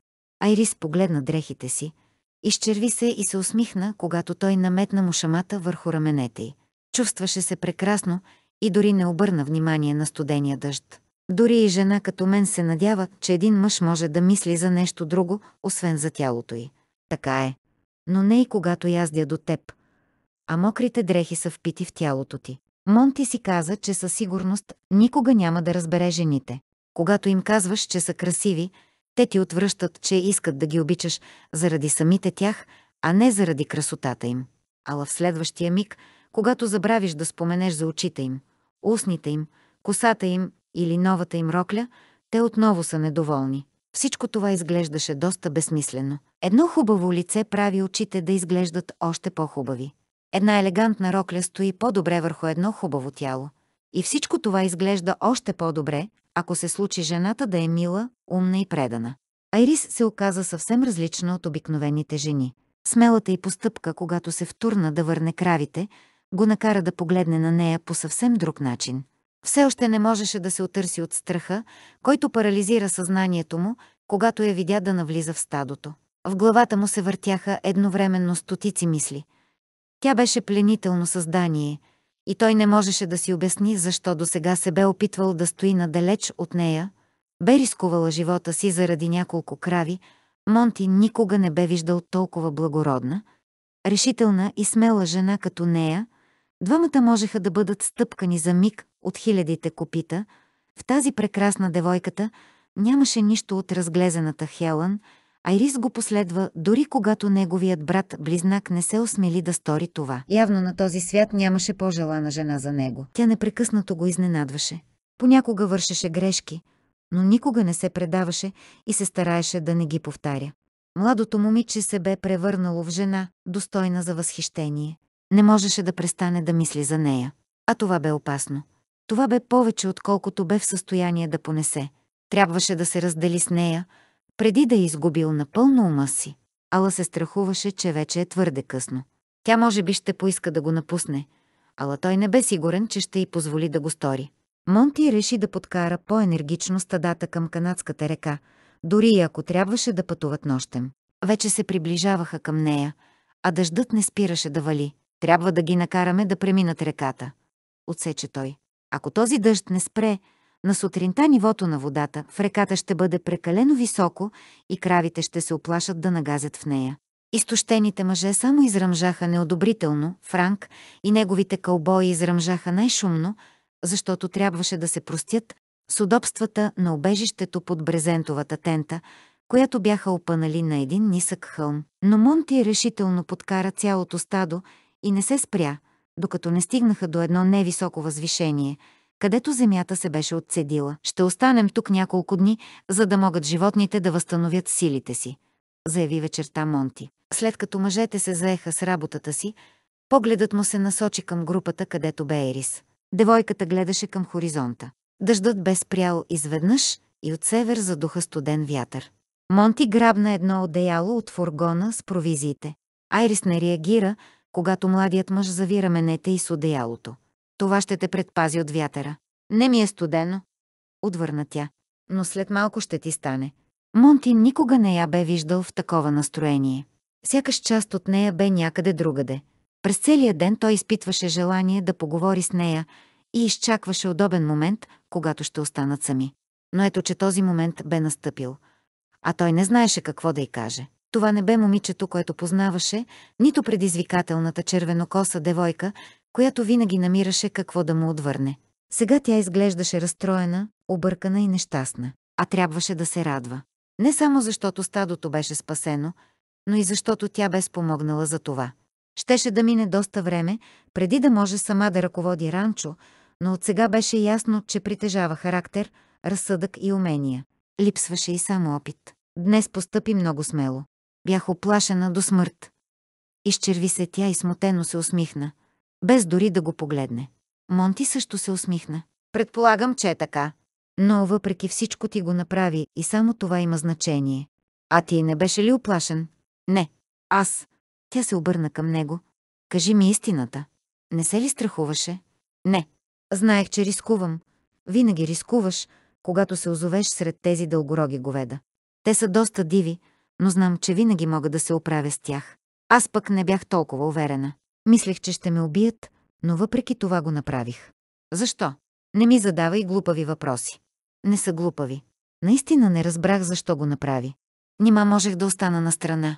Сама реших да предприема това пътуване, аз ти предложих да съберем стадата, аз те накарах да се чувстваш отговорен за мен. Как тогава можех да стоя и да гледам спокойно как стадото ще те прегази? Ако беше толкова опасно, момчетата щяха да извадят пушките. Засмя се той. Но аз не знаех това. Сопна се Ерис. Мислех, че животните ще те убият. Вече виждах как те стъпкват. Тя потръпна и млъкна. Младият мъж разбра, че тя наистина бе разстроена. Прегърна я през раменете и я обърна към себе си. И все пак ти ме последва. Не можех да постъпя друго яче, прошепна девойката. Той я притегли към себе си и я притисна до гърдите си. Айрис инстинктивно го обгърна с ръце. Никога през целия си живот не съм била толкова оплашена, промълви тя. Напрежението, което се бе натрупало от сутринта, ужасът, който все още нея бе напуснал, предизвикваха сълзи в очите й. Просто те гледах и си повтарях, Монти няма да позволи да ти се случи нищо лошо. Това беше глупаво. Ти беше в още по-голяма опасност от мен. Монти изпита някакво странно чувство. Никога до сега не му се беше случвало нещо подобно. Чувстваше се объркан както никога до сега. Ръцете му притискаха девойката и усети как се възбужда. Най-после разбра какво бе чувството, което изпълваше сърцето му. Толкова приятно бе да усеща мекотата на тялото й, толкова приятно му бе да я успокоява. Мисля, че си разбрала част от тайната за смелостта. Какво искаш да кажеш? Попита тя, отпуснала глава на гърдите му. Човек трябва да бъде малко луд, за да е смел. Поне малко. А каква е останалата част от тази тайна? Засмя се Ерис. Една част от теб да не вярва в това, което се случва наоколо ти. Една част от теб трябва да е убедена, че опасността може да засегне всеки друг, но не и теб. Друга част от теб знае, че в последния миг някой ще ти се притече на помощ. Трета част е оплашена до смърт и се кълне, че никога повече няма да ти разреши да постъпваш така глупаво. Това не звучи много ласкаво за мен. Ухили се тя. Но има и още една част. Каква? Безразсъдната глупост, която те предпазва да схванеш, че се намираш в смъртна опасност и поради която не можеш да прецениш правилно как да постъпиш. Джордж казва, че това било съвсем типично за мен. Айрис вдигна глава, погледна го в очите и се усмихна. Благодаря ти. Сега се чувствам много по-добре. Тя се опита да се освободи от прегръдката му, но той не я пусна. Всъщност, защо го направи? Вече ти казах. Тя сведе поглед. Не ти и вярвам. Младото момиче отново вдигна очи и се усмихна. Никога няма да ми повярваш. Сигурно си мислиш, че аз съм най-изпеченият лъжец на този свят. Не, не мисля така. Аз никога. И се съмняваш във всяка моя постъпка. Дори нещо повече. Винаги храниш подозрение, че аз непременно съм си наумила нещо съвсем друго. Не можеш да го отречеш, нали? Монти с изненада разбра, че тя говореше истината. Ала сега той не я подозираше в никакви скрити помисли. Нима искаше да го убеди да постъпи според нейната воля, като използваше типичните женски оръжия. Все пак нали беше жена, а жените често прибягват до какви ли не средства, само и само да постигнат целите си. Майка й, Хелън, беше известна с дарбата си в това отношение. Обаче той не допускаше, че тя може да го лъже. Наистина не го допускаше. Не зная защо изрекох всичко това преди малко. Джордж би казал, че аз никога не зная какво говоря. Но нали тък му бях започнал да говоря, така че не обръщах внимание на думите си. Наистина обаче не мислех, че можеш да ме лъжеш. Но дори и да съм си го помислил, продължи той. Вече не мисля така. Защо? Нали аз съм същата жена, на която каза, че е по-добре да се връща обратно дома. Може би, но не си жената, за която те мислех. А за каква ме мислеше? Мислех, че си като майка си. Младият мъж почувства как тя се напрегна и се отдръпна. Нямам желание да слушам как обиждаш майка ми. Благодаря ти за това, което направи днес. Винаги съм знаела, че ти си единственият мъж, който може да ме заведе до Лайоминг. А сега смятам да си легна. Никога до сега не съм се чувствала толкова уморена. Монти също бе уморен, но не му се спеше. Имаше нещо, което Айрис не му каза. И имаше много други неща, за които той би искал да й разкаже. Когато на следващата сутрин Айрис се събуди, Монти бе заминал. Тя набързо изгълта закуската си и се отправи към своя фургон с провизиите, за да поговори с Франк и Карлос. След това реши да поязди, ала ездата не й помогна да се успокои. Върна се в лагера на братята Рандолф, още по-влюбена в Монти и още по-объркана от преди. Плъзна се от седлото и се огледа за Зак, който би трябвало да заведе коня и при останалите. Но Зак не помръдна от мястото си. Няма ли да дойдеш да отведеш коня ми? Изненадано попита тя. Не, вчера го направи. Вчера яздеше един от нашите коне, а този е от твоите. Отвърна той и посочи към ограденото място, където бяха конете на ранчото двойно да. Ако го взема, някой може да реши, че се опитвам да го открадна. Никой няма да си помисли подобно нещо, щом аз съм тук. Цял ден търча нагоре-надолу, нацупено възрази Зак. Ако не съм тук, когато нашите кълбои се върнат, Монти ще ми откъсне главата. Ако не си тук, те ще си ги приберат сами, промърмори Тайлър, докато разбъркваше яденето. Мисля, че знаят как да го направят. Монти няма да откъсне твоята глава, а моята, отвърна момчето. Нито пък твоята. Нали тичаш по-бързо от него? Зак се ухили. Така е. Но Монти е способен да се нахвърли върху някого, когато той най-малко го очаква. Ще му кажа, че си го направил заради мен. Помоли се Ерис. Зак я изгледа недоверчиво, като се опитваше да реши дали тя наистина има толкова голямо влияние върху брат му, че думите й да го спасят от неговия гняв. Май не ти се вярва, че ще мога да го убедя, рече Ерис. Смущението на момчето наистина я забавляваше. Няма да можеш да се оправиш с Монти. Той по принцип не обича момичета. Сигурно просто още не е срещнал девойка, която да му хареса. Не, имал е много момичета, които са му харесвали за ден-два, но после винаги му е писвало от тях. Много повече обича кравите, защото ако ти омръзне някоя крава, можеш да я продадеш или да я заколиш и да я изядеш. А ако някоя жена ти омръзне, ще трябва да бягаш от нея чак на другия край на света. Отведи коня на дамата, каза Тайлър. Ти не си ми господар. Отвърна Зак и погледна несигурно брат си. Джордж каза, че трябва да слушам само Монти и Хен. И соления. Ако не отведеш коня на тази дама, ще срежа въжето и ще подпаля огън под опашката на този кон. Ще ми трябва цели два дена, докато събера конете. Подскочи Зак, шокиран от коварството на Тайлър. Тогава ще е по-лесно просто да отведеш коня на тази дама. Зак погледна към Айрис. Подритна една буца пръст и изрога цветисто. Тя бе сигурна, че не от Джордж се бе научил да ругае така. После той сграбчи поводите от ръцете й, метна се на седлото и пришпори изтощения кон. Това момче говори прекалено много, рече Тайлър и подаде чаша горещо кафе. Винаги съм казвал на Джордж, че трябва да го пердаши по-често. А Джордж не е бил съгласен, така ли? Попита Айрис. Беше интересно да научи нещо повече за семейство Рандолф. Зак не е глупав. Той винаги изпълнява нарежданията на Джордж, без да протестира. Ние, останалите, много често изпитвахме желание да го убием. Особено обича да дразни Монти и заради това доста често ходеше с пукната глава. На девойката не се вярваше, че Тайлър съвсем не се шегува. Ала нали самата тя не бе живяла дълго с братя или сестри. Не можеше да проумее, че е възможно едновременно да обичаш брат си и понякога да искаш да му щупиш главата. Все пак и бе приятно, че Тайлър разговаря с нея почти като с член от семейството. Трябваше да признае, че се чувства много по-добре сред мъжете от ранчото кръг 7, отколкото сред своите собствени работници. Франк се държеше все по-отчуждено. Карлос непрекъснато бе мрачен и недоволен и всеки ден се опитваше да я убеди, че трябва да разделят стадата и да се отърват от Монти. Тя бавно тръгна към сянката на един малък клонест дъб. Опита се да сложи ред в мислите си, но без особен успех. Тъй като нямаше доверие на Франк, можеше да разчита само на мъжете от семейство Рандолф.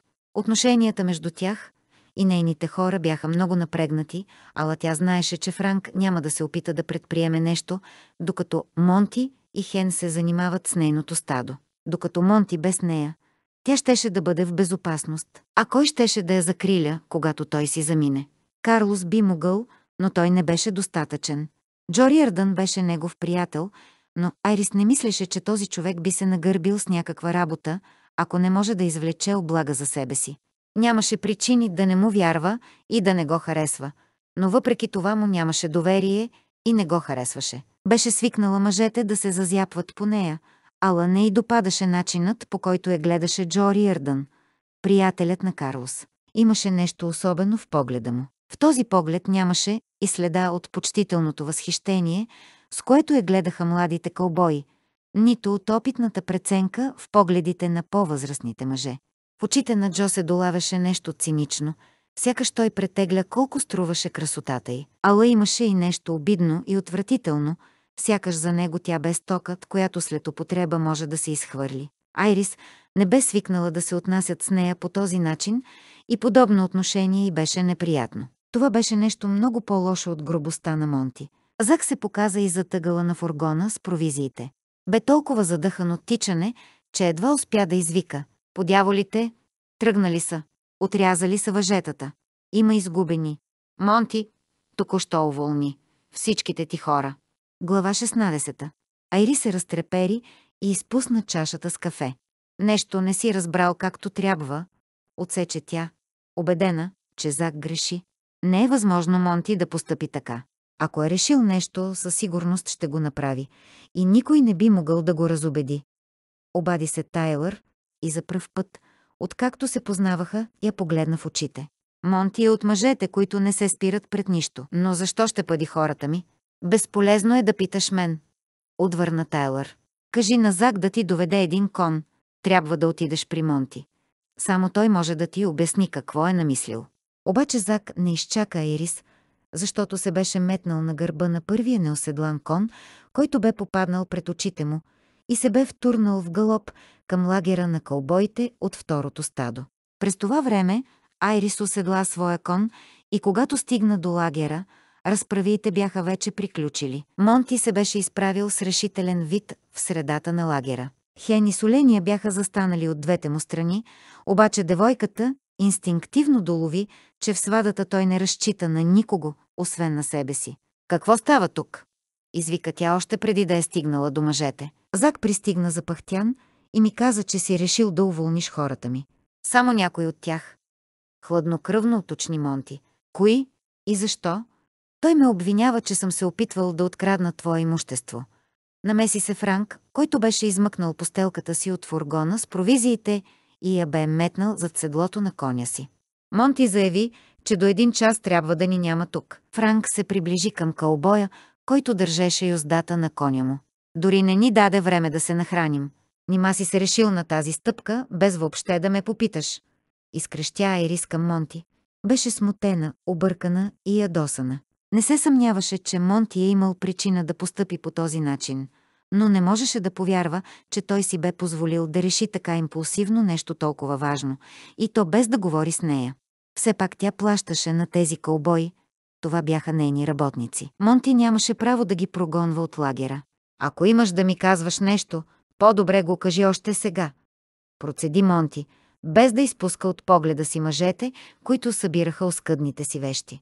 Липсват ли някакви говеда от моето стадо?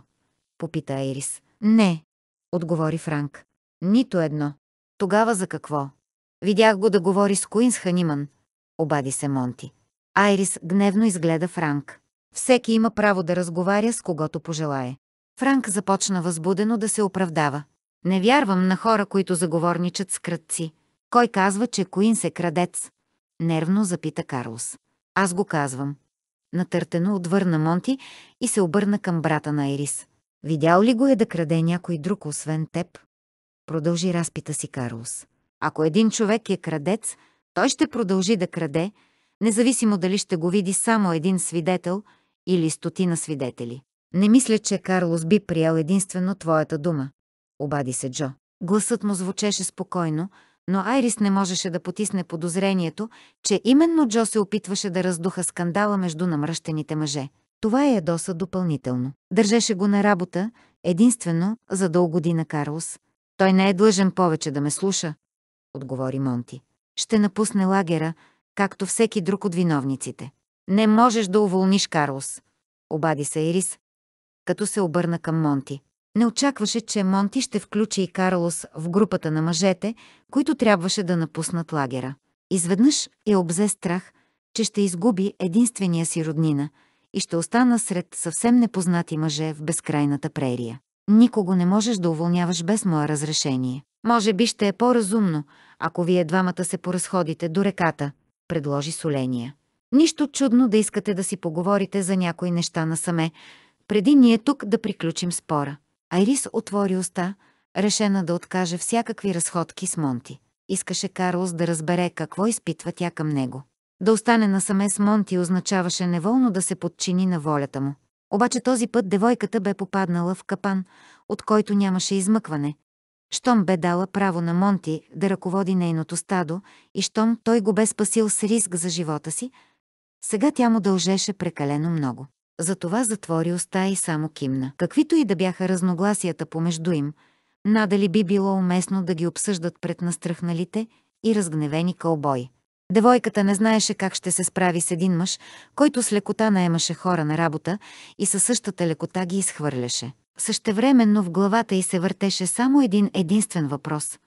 Дали той някога е целувал друга жена по начина по който бе целунал нея? Не можеше да събере сили, за да се впусне в гневен спор за бъдещето на Франк, когато нейното собствено бъдеще оставаше заболено в неяснота. Не знаеше как да приведе разумни доводи в подкрепа на действията на своите кълбой, когато Монти само с вида си я принуждаваше да забрави за разумното мислене. Не можеше да се съсредоточи върху трудностите около управлението на стадото, когато сърцето изтенеше за любовта, която може би никога нямаше да получи от русокосия красавец. Нито един от двамата не продума, докато не изчезнаха от полезрението на кълбоите зад гъсто прорасналите лози и храсти, които се простираха по двата бряга на реката. Едва тогава и двамата заговориха в един глас. Как можа?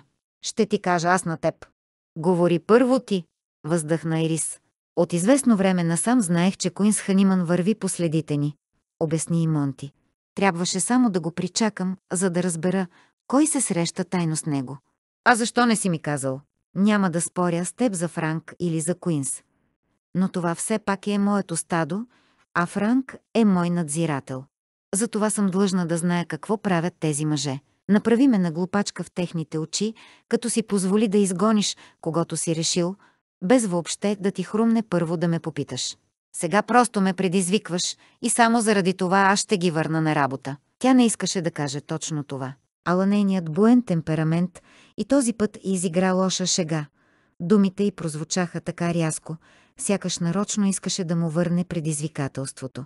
А след като тези думи неволно се бяха изплъзнали от устата й, нейният инат нямаше да й позволи да ги отрече. За да прикрие безпокойството си, девойката откърши един клон от близкия храст и започна да го чупи с треперещите си ръце. Разбира се, че можеш да ги върнеш, щом така си решила. Изглежда, той също бе изгубил търпение от целия този досаден разговор, но успя да се овладее и да не избухне.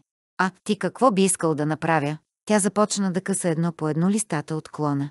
Да разделим стадата си и ти да тръгнеш напред. Сигурен ли си, че Франк или някой друг се е опитал да ме окраде? Ако ми възложиш отново да поема отговорността за твоето стадо, тогава аз ще издавам заповедите какво да се прави. Ако това не те устройва, трябва да ми го кажеш открито. Знаеш, че не мога да направя това.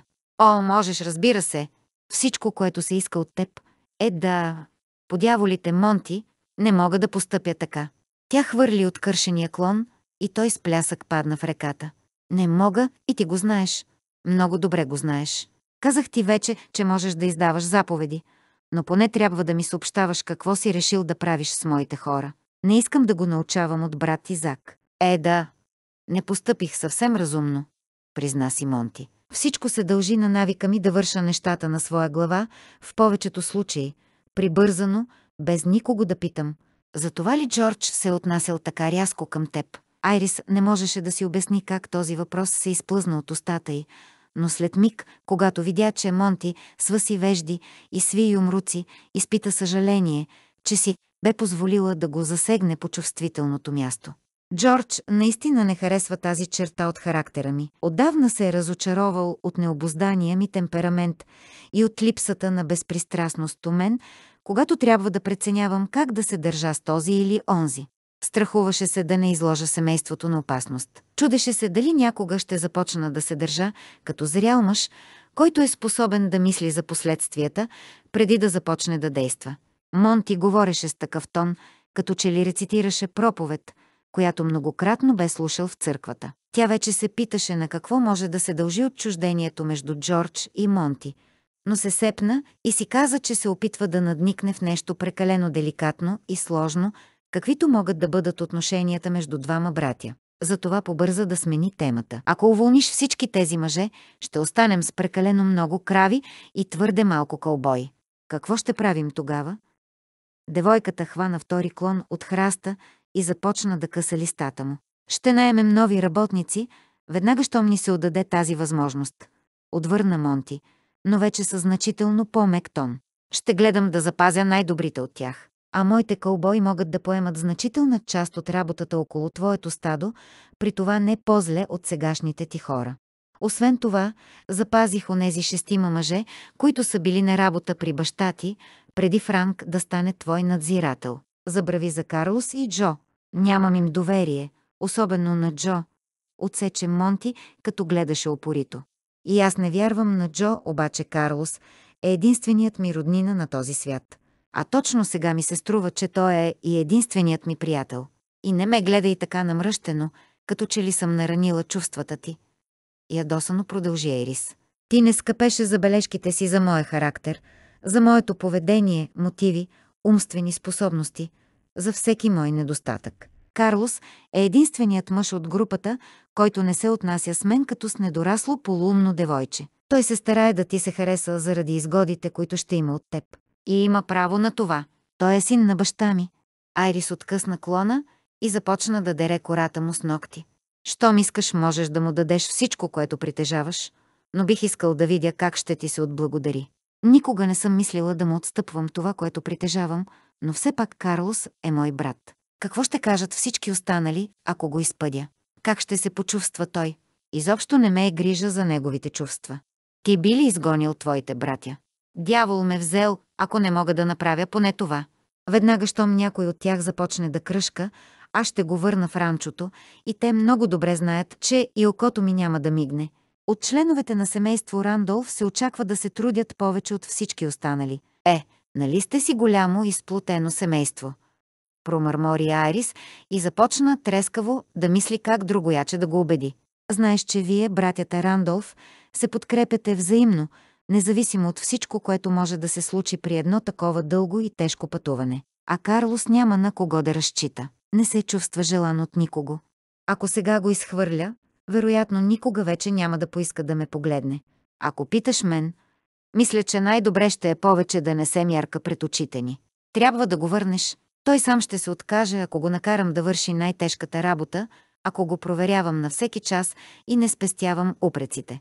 Айрис така се ядоса, че прекърши храста с откъснатия клон. Можеше да признае, че Монти знае много повече от нея за стадата, че за всичко имаше отговор, но не можеше да се примири с бруталността му, с прихавия му характер, особено в случай, когато потърпевш се оказваше единственият нейн роднина.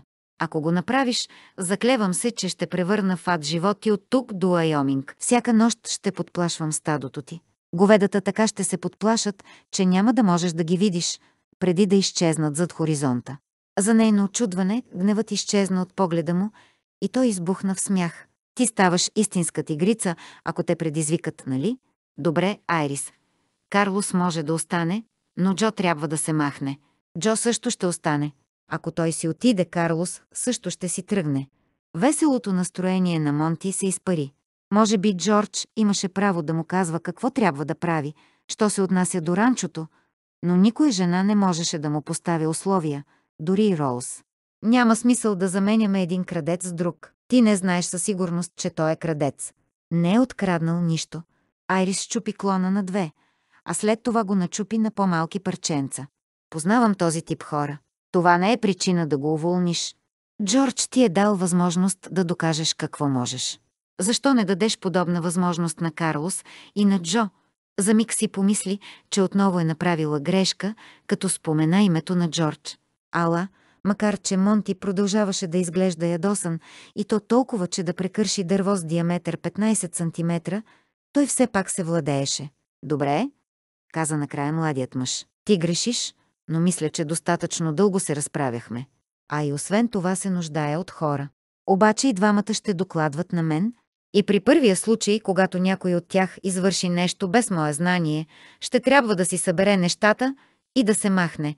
Няма да се отнасям към Карлос по специален начин, само защото е твой брат. Мисля, че е справедливо. Те няма да работят заедно, добави Монти. И не ме интересува, че са били неразделни още от люлката. Не ги искам тук, а Хен – още по-малко. А какво ще кажеш за мен? Девойката хвърли щупените клони.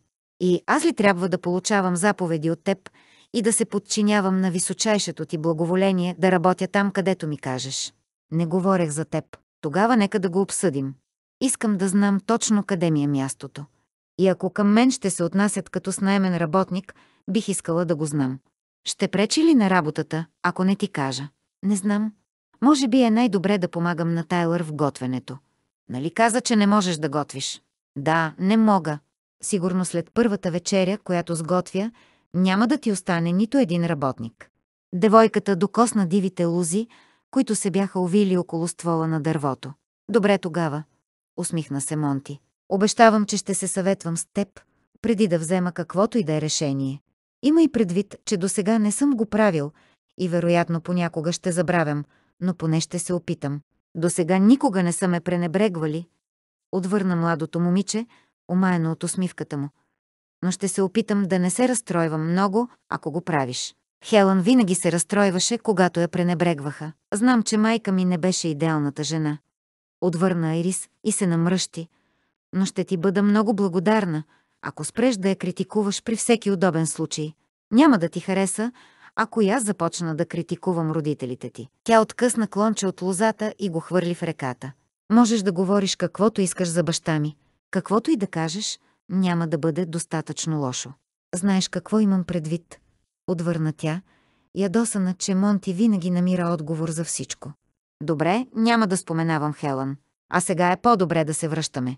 Искам Франк и хората му да се махнат колкото е възможно по-далеч от тук. Затова и не им предложих да се нахранят, преди да тръгнат. Надявам се, че ако потеглят веднага, скоро ще бъдат извън земите на индианците. Мислиш ли, че могат да се върнат? Айрис бе открила едно птиче гнездо, ала то беше празно. Мисля, че ще се опитат да подплашат стадото. Така ще ми го върнат и ще имат възможност да отмъкнат няколко крави за себе си. Нали не смяташ, че те? Смятам. Тази вечер ние с Хен няма да си лягаме. Ако животните побегнат, най-добре ти да останеш с Тайлър. Соления и момчетата ще се погрижат за кравите. А ние с Хен ще разберем кой е подплашил животните. Всеки път, когато си мислеше, че вече знае какво да прави, се случваше нещо и тя разбираше колко е неподготвена за такова пътуване. Без да осъзнава какво върши, тя хвърли откъснатата лоза към Монти. Той не каза нищо, обърна се и бързо закрачи към лагера. Карлос и Джо, елате за малко. Нареди младият мъж, когато приближи лагера, а останалите могат да продължат да събират багажа си. Обърна се и тръгна, без да се обръща да види дали двамата мъже го следват. Айрис си помисли да остави Монти сам да разговаря с тях, но се отказа. Тя го бе принудила да направи нещо, което той не желаеше. Трябваше да се увери, че Карлос и Джон няма да се държат предизвикателно. Няма да правя той, заяви Джо, когато Монти му съобщи изискванията си. Аз не съм крадец и ти не можеш да се отнасяш така с мен. Монти не те мисли за крадец, намеси се Ерис, като се стараеше гласът и да звучи любезно. Нали веднъж вече се наложи да работите разделени за известно време. Това са моите изисквания, отсече Монти. И това е всичко, което мога да ви предложа.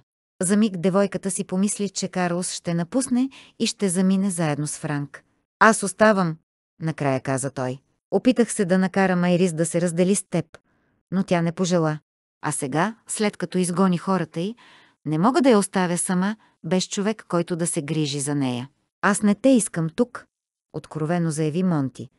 Но Ери смята, че имаш право да си с нас. Затова ще се опитам да се примиря с присъствието ти и ще се постарая да работим заедно. Вярно ли е, че си казала това, Айрис? Карлос наистина изглеждаше изненадан. Разбира се, винаги съм смятала, че татко трябва да ти остави нещо. Мислех, че можете да поговорите по-късно за това. Прекъсна ги Монти. Оставате или не? Карлос се обърна към Джо. Добре, отвърна Риърдън. Но в мига, в който някой се опита да се държи с мен, сякаш съм откраднал нещо, ще си има доста неприятности. Не започвай нещо, ако не смяташ да го завършиш, рече Монти. Той го каза тихо, сякаш не беше нещо важно, но Ерис видя как Карлос и Джосеф цепениха. Джо бе предизвикал Монти. а Монти бе приел предизвикателството. Девойката бе уверена, че щеше да се случи нещо лошо.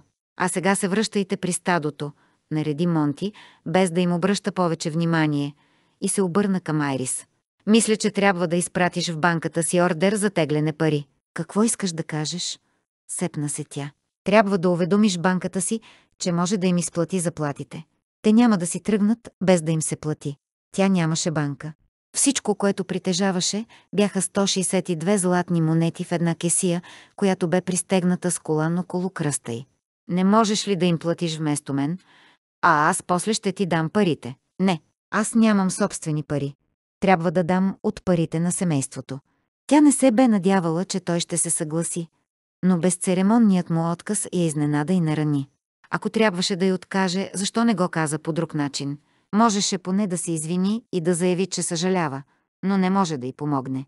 Ти имаш пари да им платиш, нали? Попита Монти. А какво ще стане, ако нямам? Монти я изгледа смаяно. Изражението на лицето му ясно показваше, че никога не бе чувал по-глупав въпрос. Те ще имат право да вземат цялото ти стадо. О, възкликна девойката. Най-страшните и опасения се бяха потвърдили. Е, както и да е, аз имам пари, но има един малък проблем. При теб винаги има някакъв малък проблем. Защо не можеш да се държиш като всички останали? Защото аз съм жена. Изфуча тя. И вие, мъжете, не бихте ми позволили да се държа като всички останали. Не бива да си изкарваш всичко на мен. Все пак изглежда, че аз непрекъснато правя това, което ти искаш. Айрис почувства огризение на съвестта заради неприятностите, които му бе причинила, ала точно сега нямаше време да се замисля. Искаш ли да отидем отново до реката?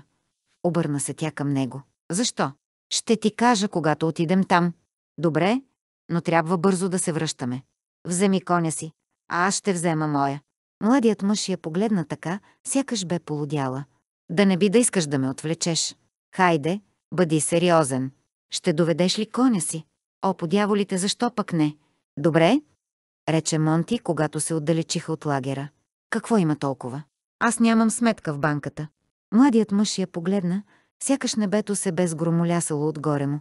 Не вярвам на банките, особено след това, което ми причини онзи противен банкер. А и освен това той каза, че няма да се изненада, ако се появят и други хора, на които татко е дължал пари. И какво направи с? Не можеш да очакваш от мен, че ще оставя парите си на подобен тип. Прекъсна го Ерис. Откъде да знам, че няма да ги раздаде на всеки, който каже, че баща ми му е длъжник? Той ще се радва да ме види без пукната пара. И ти какво направи? Скрих парите. Великолепно. Но ако си ги закопала под някоя храст в Южен Тексас, това няма да ти свърши работа. Парите са ти необходими сега. Не съм ги закопала под някакъв храст в Южен Тексас. В главата му се зароди едно подозрение и лицето му се изопна. Защо всъщност се отнасяше с такова недоверие към нея? Та той дори не знаеше какво се кани да му каже, а вече бе готов да я обвини, че не е поступила правилно. Всъщност, той се отнасяше по-зле към нея, отколкото Джордж се бе отнасял към него самия. А може би грешеше. Тя все пак беше жена и имаше разлика. В фургона ми има скривалище. Майка ми криеше бижутата си там. Монти я изгледа смаяно. Значи, когато каза, че искаш да имаш отделно място за... Аз преместих парите от фургона и ги сложи в турбите, които закачи на седлото на коня си. Затова искаше да доведа и твоя кон. Не, те вече не са там, призна девойката. Но бих искала всички да мислят, че са там. Струва ми се, че или съм се преуморил от работа, или съм слънчасъл. Не разбирам нищо от това, което ми говориш. Парите са в колана, овит около кръста ми, но не искам някой да знае. Да не би да искаш да кажеш, че си яздила 300 км в тая пустош с всичките си пари, овити в колан около кръста ти. Те не са кой знае какво богатство. Отвърна тя. Имам около 3000 долара. Младият мъж бе напълно слисан.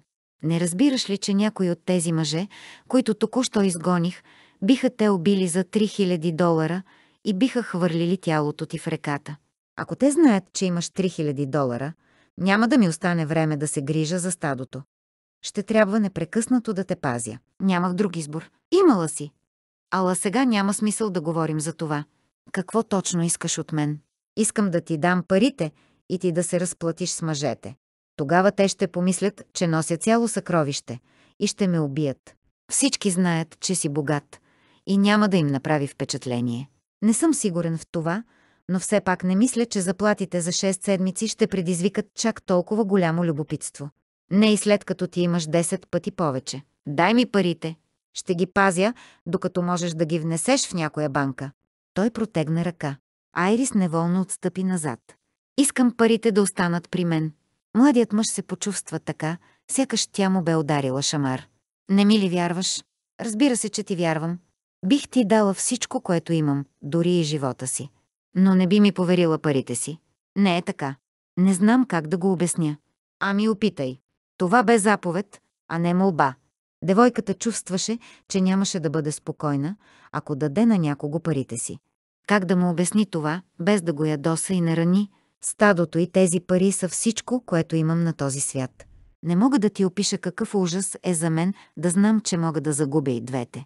И щом цял ден съм прекарала на седлото, колкото и да съм капнала от умора, аз няма да мога да заспя, ако се тревожа и за парите си. Трябва да бъдат у мен, ето защо не можех да се доверя на някой непознат водач. Заради това и не мога да дам парите си на никого, дори на теб. И така, ти искаш да накараш всички да мислят, че аз имам много пари, с което ще ме изложиш на опасност. Ма искам прекалено много от теб, нали? Да. Ще го направиш ли? Не можеше да разбере откъде събра смелост, за да го попита, но го стори. В момента това бе най-важното нещо за нея. Предполагам, че трябва да го направя. Въздъхна Монти. След това пътуване Джордж ще бъде напълно убеден, че не притежавам и капка здрав разум, особено ако някога научи за това. Добре, преброй колкото пари ти трябват. Надявам се, че не са в едри банкноти. Те са в злато. Той простена отчаяно. Никой разумен човек не носи със себе си злато. Все едно сама да си сложиш примка на шията. Никой не знае. Ще узнаят. Как? Не знам, но по някакъв начин подобни неща винаги излизат наяве. Преброй парите, че трябва да се връщаме по-бързо в лагера. Девойката се смути от настойчивия поглед на Монти и сбърка в броенето. Разстрои се още повече и отново сбърка. По-добре дай аз да ги преброя, каза той. Не, това са моите пари и аз ще си ги броя. Но май ще е по-добре, ако не ме гледаш и се разходиш до реката. Като ме гледаш по този начин, ме нервираш. След малко той се върна. Продължавам да мисля, че ще е по-добре, ако дадеш парите на мен, рече той, като сложи златните монети в турбата си. Или поне ги раздели и ги сложи на различни места. Така няма да ги загубиш наведнъж. Ако ги разделя, няма да съм спокойна. Добре, прави каквото знаеш. И без това не ме слушаш. Карлос и Джо трябваше да се заемат с задълженията си, но Карлос остана, докато Монти плащаше на кълбоите, за да се увери, че Монти няма да измами Ерис. Стоеше деликатно извърнат настрани и отпиваше от чашата си с кафе, а междувременно Джо си свиваше цигара. До сега не съм виждал някой да плаща с злато. Прошепна Джо Риърдън на Карлос, докато наблюдаваха как Монти отброяваше златните монети на Франк и останалите кълбои. А защо не? Семейство Рандолф са много богати и могат да плащат както им се харесва. Така е. Но не ти ли се струва доста странно да носиш със себе си злато на такова пътуване? Дори и да си от семейство Рандолф. Не. Защо пък да е странно? Никой не постъпва така. Работодателите винаги плащат в града чрез банката или някой от банката обикновено им донася парите, след като пътуването свърши. Джо драсна клечка кибрид и запали цигарата си. Защо ми казваш всичко това? Попита Карлос. Джо всмукна от цигарата и после изпусна дима от ноздрите си. Просто си спомних слуха за стария Рандолф, че през войната откраднал заплатите на армията. На времето се вдигна голям шум около тази история. Някакъв стар глупак дори нападнал ранчото им и прекопал почти цялата земя, но не открил нищо. Ако наистина притежават злато, а аз не вярвам, че наистина е така, имало е стотици начини да се отърват от него и да го обърнат в пари или в друга собственост. Така е, но може да не са го направили. Може би го крият някъде и от време на време взимат по-малко. Защо мислиш така? Там, където отиваме, няма банки. Навярно мислят, че е по-лесно да носят злато. Господи, мразя мириса на тютюн. Не можеш ли да пушиш някъде другаде? Джо не му обърна внимание. За да построят ново ранчо за няколко години, им трябват доста пари. Вероятно носят със себе си цяло състояние. Говори се, че старият Рандолф е откраднал половин милион долара. Дори и да имат 2,5 милиона, едва ли ще ти ги дадат, ако им поискаш. Не, но този Монти доста си пада по сестра ти. Да предположим, че иска да се ожени за нея. Ти можеш да кажеш, че не си съгласен, ако не ти даде известна част от лъскавите златни монети. Аз не искам Майрис да се омъжва за него. Тя каза, че ще ме направи свой надзирател. Може дори да ме направи свой съдружник в ранчото. Не ставай глупак. Изсъска Джо. Можеш да си купиш дозина с парите, които можем да измъкнем. А ако имаме пари, няма защо да киснем в някое ранчо. Можем да живеем, където си пожелаем, да плащаме на други да работят за нас и да нямаме грижа за нищо. Това, което казваш, не ми харесва. Джо изпусна няколко колелца дим. Ти не си влюбен в нея, нали? Разбира се, че не, но... Тогава никакво но. А какво ще стане, ако той не пожелая да се ожени за нея? Тогава ти ще станеш нейн надзирател, а аз ще мога да се оженя за нея. Карлос поклати глава. И това не ми харесва. Искаш ли да й разкажа какво си правил през последните няколко години? Мислиш ли, че Рандолф ще ни остави да работим за него, ако разбере, че те издирват? Смяташ да ме издадеш ли? Никога не бих го направил, освен за твое добро. Отвърна Риърдън. А ако оставим тази възможност да ни се изплъзне, няма да е добре за теб. Мислиш ли, че тя ще съгласи да ти стане жена, ако Монти не я иска? Няма много-много да се церемоня. Освен това, не възнамерявам да прекарам останалата част от живота си сред кравешки лайна. Ясно ли ти е? Ще си помисля за това, което ми каза. Но то не ми харесва. Тя е толкова мила с мен и няма да е справедливо. А сега загаси тази цигара. Ако подпалиш тревата, Монти ще ни изгони, без много да се церемони с нас. Джой изгледа края на цигарата си. Не му харесваше промяната в Карлос. Проклета жена можеше да завърти на малкия си пръст всеки мъж, когато пожелае. Добре, че той поне беше различен. Може би мисълта да се ожени за девойка като нея би накарала всеки мъж да му потекат лиги от устата. Но ако можеше да я замени за злато, Джо щеше да го направи.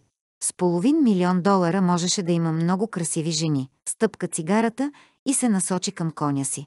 Глава 17. Франк и хората му си тръгнаха, веднага щом получиха парите.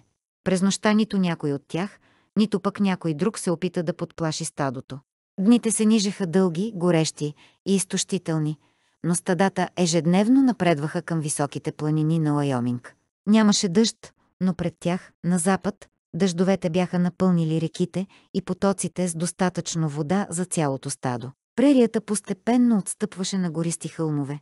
Чести пожари бяха унищожили дърветата в обширната равнина, само около реката и лъкатушещите потоци се виждаха отделни дървета.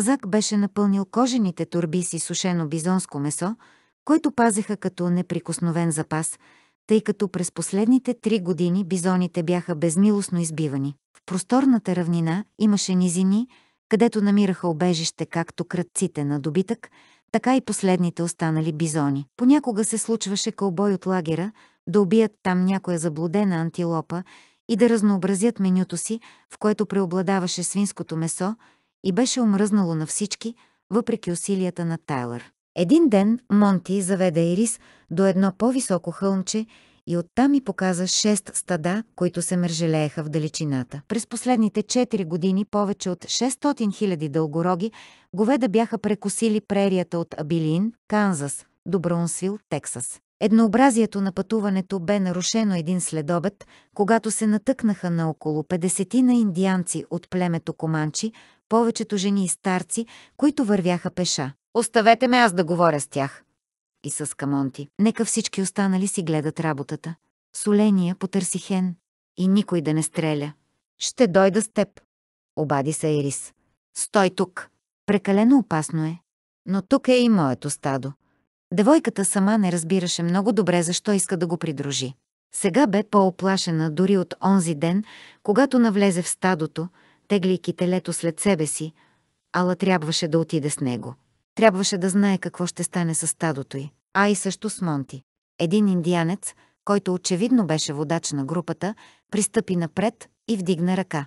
Животните пасяха, разпръснати наоколо, а кълбоите яздеха отстрани. Водачът на индианците очевидно не говореше английски и затова започна да прави знаци с ръце. Когато Монти го попита нещо на испански, той се обърна към своите хора и повика двама по-млади индианци, за да превеждат. Тези двамата са апахи, прошепна Монти на Ирис. Вероятно са избягали от племето си. Какво иска водачът ви? Обърна се Монти на завален испански към двамата воини. След като те преведоха въпроса на водача си, той свали наметката от раменете си и слезе от коня. Беше едър мъж със съвършени пропорции, въпреки че не бе съвсем млад. От фигурата му лъхаше гордост и достоинство. Айрис не разбираше какво означават татуировките по лицето му, но по уважението, с което се отнасяха останалите червенокожи към него, бе ясно, че пред нея стои индиански вожд. Вождът искаше от тях говеждо месо. Каза, че тази част на прерията принадлежи към ловните полета на команчите. Каза още, че белите хора са нахлули в земите им, избили са хиляди бизони и са обрекли племето му на глад и нищета. Той винаги е искал да живее в мир с белите и затова сега в племето му са останали само жени и старци, тъй като всички по-млади бойци са се присъединили към другите племена, чието вождове воюват с белите. Предложи на белите да ги пропусне през земите си, ако му дадат 20 крави. Слез от коня, рече Монти на Ирис. Разговорът няма да е кратък. Той също скочи от седлото и седна на земята. Младото момиче го погледна очудено и последва примера му. Двамата апахи се настаниха срещу тях. С индианците не може да се разговаря бързо, обясни Монти. Те обичат да преговарят бавно с белите. За да покаже, че не бърза, Монти отскубна стрък трева и бавно го задъвка. И слуша търпеливо думите на вожда и се впусна в дълъг многословен разговор, като опорито избягваше да говори за говеждото месо. Попита колко остава до Форт Сил и Форт Елият и след колко дни ще стигнат до тях. След това спомена, че индианците многократно са задигали добитък от стадата им и че великият вожд на белокожите във Вашингтон е много огорчен от това. Каза, че скотовъдите са поискали от него да изпрати войски, за да ги защити от набезите на червенокожите, които непрекъснато искат животни от стадата на белите, за да им позволят да преминават през земите на многобройните племена. Накрая заяви, че не е длъжен да им дава нищо. Вождат покани Монти и Айрис да посетят индианското селище, за да се убедят колко мизерно живеят. Поканата изненада Айрис. Младото момиче нямаше желание двамата с Монти да се озоват сами сред чуждото племе, но същевременно искаше да се убеди дали индианският вожд говори истината. Освен това, старците и жените не изглеждаха опасни, а и Монти беше с нея. Нека да им дадем от нашата храна, предложи тя. Идеята не е лоша. Монти извика Соления и му съобщи, че Айрис иска да даде храна на индианците. Като че ли Соления не остана във възторг от предложението, но се съгласи и скоро се върна с няколко турби. Девойката се чувстваше в безопасност, когато хората й бяха наблизо, ала сега, заобиколена от индианците, си помисли, че може би не трябваше да тръгва с Монти. Индианското селище беше разположено в долината на един поток, недалеч от стадата. Долината преминаваше в просторна равнина, осеяна с канадски тополи и храсти. Листата на тополите непрекъснато шумоляха. Стъблата им бяха толкова дебели, че дори един мъж трудно можеше да ги обхване с две ръце.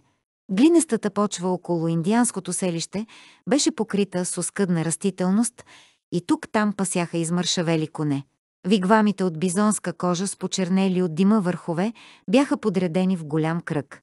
Между тях обикаляха изгладнели кучета, които ровеха в праха за някой кокъл. Айрис никога не бе виждала такава мизерия. Когато групата влезе в селището, жените и децата вдигнаха глави и впериха погледи в тях. По лицата на индианките личаха следи от дълги години тежък труд и нищета.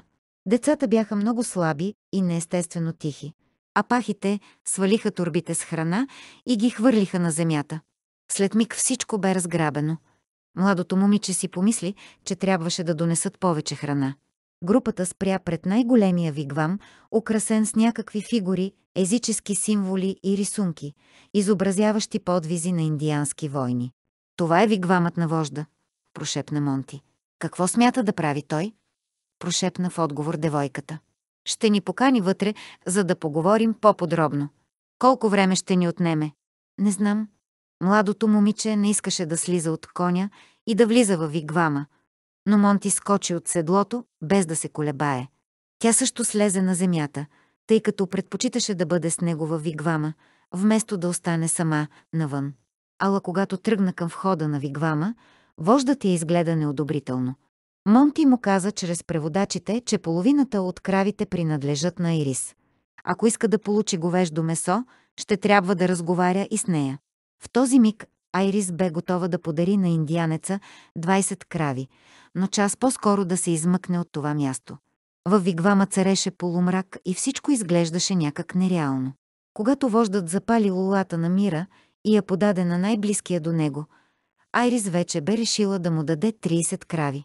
Лулата стигна до нея и тя се поколеба, но след като се бе озовала сред тези мъже, трябваше да спази ритуала. Внимателно я пое и всмука от нея. Тютюневият дим, примесен с аромат на някакви треви, изпълни дробовете й и тя едва не се задави. Монти се усмихна одобрително и тя изпита прилив на гордост от себе си. След час във вигвама бе станало толкова задимено, че тя едва дишаше, а главата й бе съвсем замаяна. Но най-голямото изпитание те първа предстоеше. Във вигвама влязоха няколко индианки с чаши и подноси с храна. Монти и Ерис бяха поканени да споделят обяда на червенокожите. Монти винаги се оплакваше, че не може да разбере какво му поднася Тайлър, но сега без колебание взе една чиния, пълна с някаква странна каша. Приличаше на задушено месо с див грах и ряпа. Тя опита месото, като се надяваше, че няма да се окаже месо от гърмяща змия. Отказа следващото блюдо с нещо, което приличаше на скакалци, но взе следващото с смес от тикви и диви малини, което се оказа доста вкусно.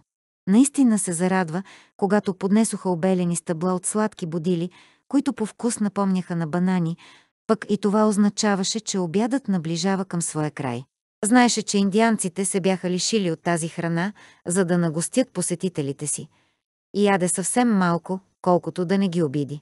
Надяваше се, че ще дадат остатъците от обяда на изгладнелите деца. Припомни си изпитите им лица и почувства съжаление, че не им бе отстъпила храната. Поканиха ни да останем тази нощ, обади се Монти. Поканиха ли ни? По-скоро приличаше на заповед. А къде ще ни настанят? Ще ни покажат. Разговорът с индианците продължаваше. Монти се умори да превежда всяка дума, но умът на девойката бе заед с мисълта за предстоящата нощ. Вероятността да бъде разделена от Монти я ужасяваше. Когато тръгна с него към индианското селище, мислеше, че ще поговорят набързо с червенокожите и ще се върнат при стадото. А сега от нея се очакваше, или по-точно изискваше, да прекара нощта тук. В гърдите й се надигна вълна от страх. Когато най-после вождат даде знак, че прекратява разговорите, Айрис бе съвсем оплашена. Тя се вкопчи в ръката на Монти като отдавник за сламка. Вождат забеляза жеста й и промърмори нещо на един от хората си. Индианецът ги поведе към един голям вигвам, разположен недалече и украсен подобно на вигвама на вожда. Червенокожият каза нещо на Монти, обърна се и понечи да си тръгне. Монти очевидно бе изненадан от думите му и бързо заговори на испански. Айрис много искаше да разбере за какво си говорят, но на времето Хелън не й бе позволила да научи този език, тъй като смяташе, че испанският е само за слугите. Монти се опита да възрази на индианеца от племето Апахи, но мъжът не го изслуша и си тръгна. Монти понечи да го последва, но младото момиче сграбчи ръката му. «Какво има?» — попита тя. Вождът е наредил да спим заедно в този вигвам, защото е помислил, че си моя жена. Айрис никога не бе изпитвала такъв шок. Едва се сдържа да не подскочи. Цялото й тяло настръхна от възбуда, която нямаше нищо общо с индианците. Не можа да разбере защо бе обхваната от такова нетърпеливо очакване, а не от страх, че ще трябва да преспи сред хората от непознатото племе, но беше сигурна в едно — Монти трябваше да остане при нея. В никакъв случай не биваше да я оставя сама през нощта. Има достатъчно място за двама души в тази колиба. Подметна тя, докато оглеждаше жилището, приличащо на шатра с формата на пресечен конус. Вътре съвсем не е тясно. Не става дума дали е тясно или не. Не мога да спя тук с теб. Това ще съсипе репутацията ти. В този миг страхът на Ирис, че ще остане сама, Беше много по-силен от всякакъв страх за репутацията й. Не можеш да ме оставиш. Не и тук. Ако излезеш, аз ще дойда с теб. Индианците няма да ти причинят зло, увери Монти. Ние сме техни гости. За тях това е въпрос на чест. Може би, но не съм спокойна. Ти трябва да останеш. Никой няма да узнае. Ще поговоря с техния вожд. Ала когато Монти се опита да влезе във вигвама на вожда, Едина пак застана пред входа. Младият мъж се приготви да влезе със сила. По-добре не се опитвай, извика Ерис, хвана го за ръкава и го задърпа обратно. Те няма да те пуснат вътре, а може да ги разгневиш, ако се опитваш да влезеш на сила. Той разбра, че няма да може да се добере до индианския вожд и заяви, тогава ще спя навън. Ще вали. Вече дори закапа. Аз имам мушама. Не бъди такова, магаре. Вътре има достатъчно място и за двамата. Тъй като младият мъж не помръдваше, тя го хвана за ръката и го избута към вигвама. Един индианец, който ги наблюдаваше, се усмихна и смушка приятеля си.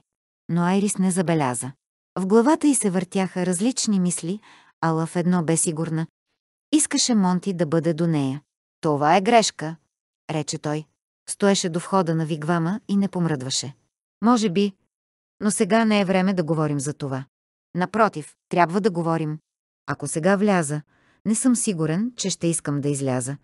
Аз не искам да излизаш. Монти я изгледа напрегнато. Осъзнаваш ли какво ми каза? Да. Младото момиче го дръпна още веднъж и този път той направи една крачка напред. Може би ние. Вътре ще поговорим. Айрис чувстваше, че краката й са омекнали.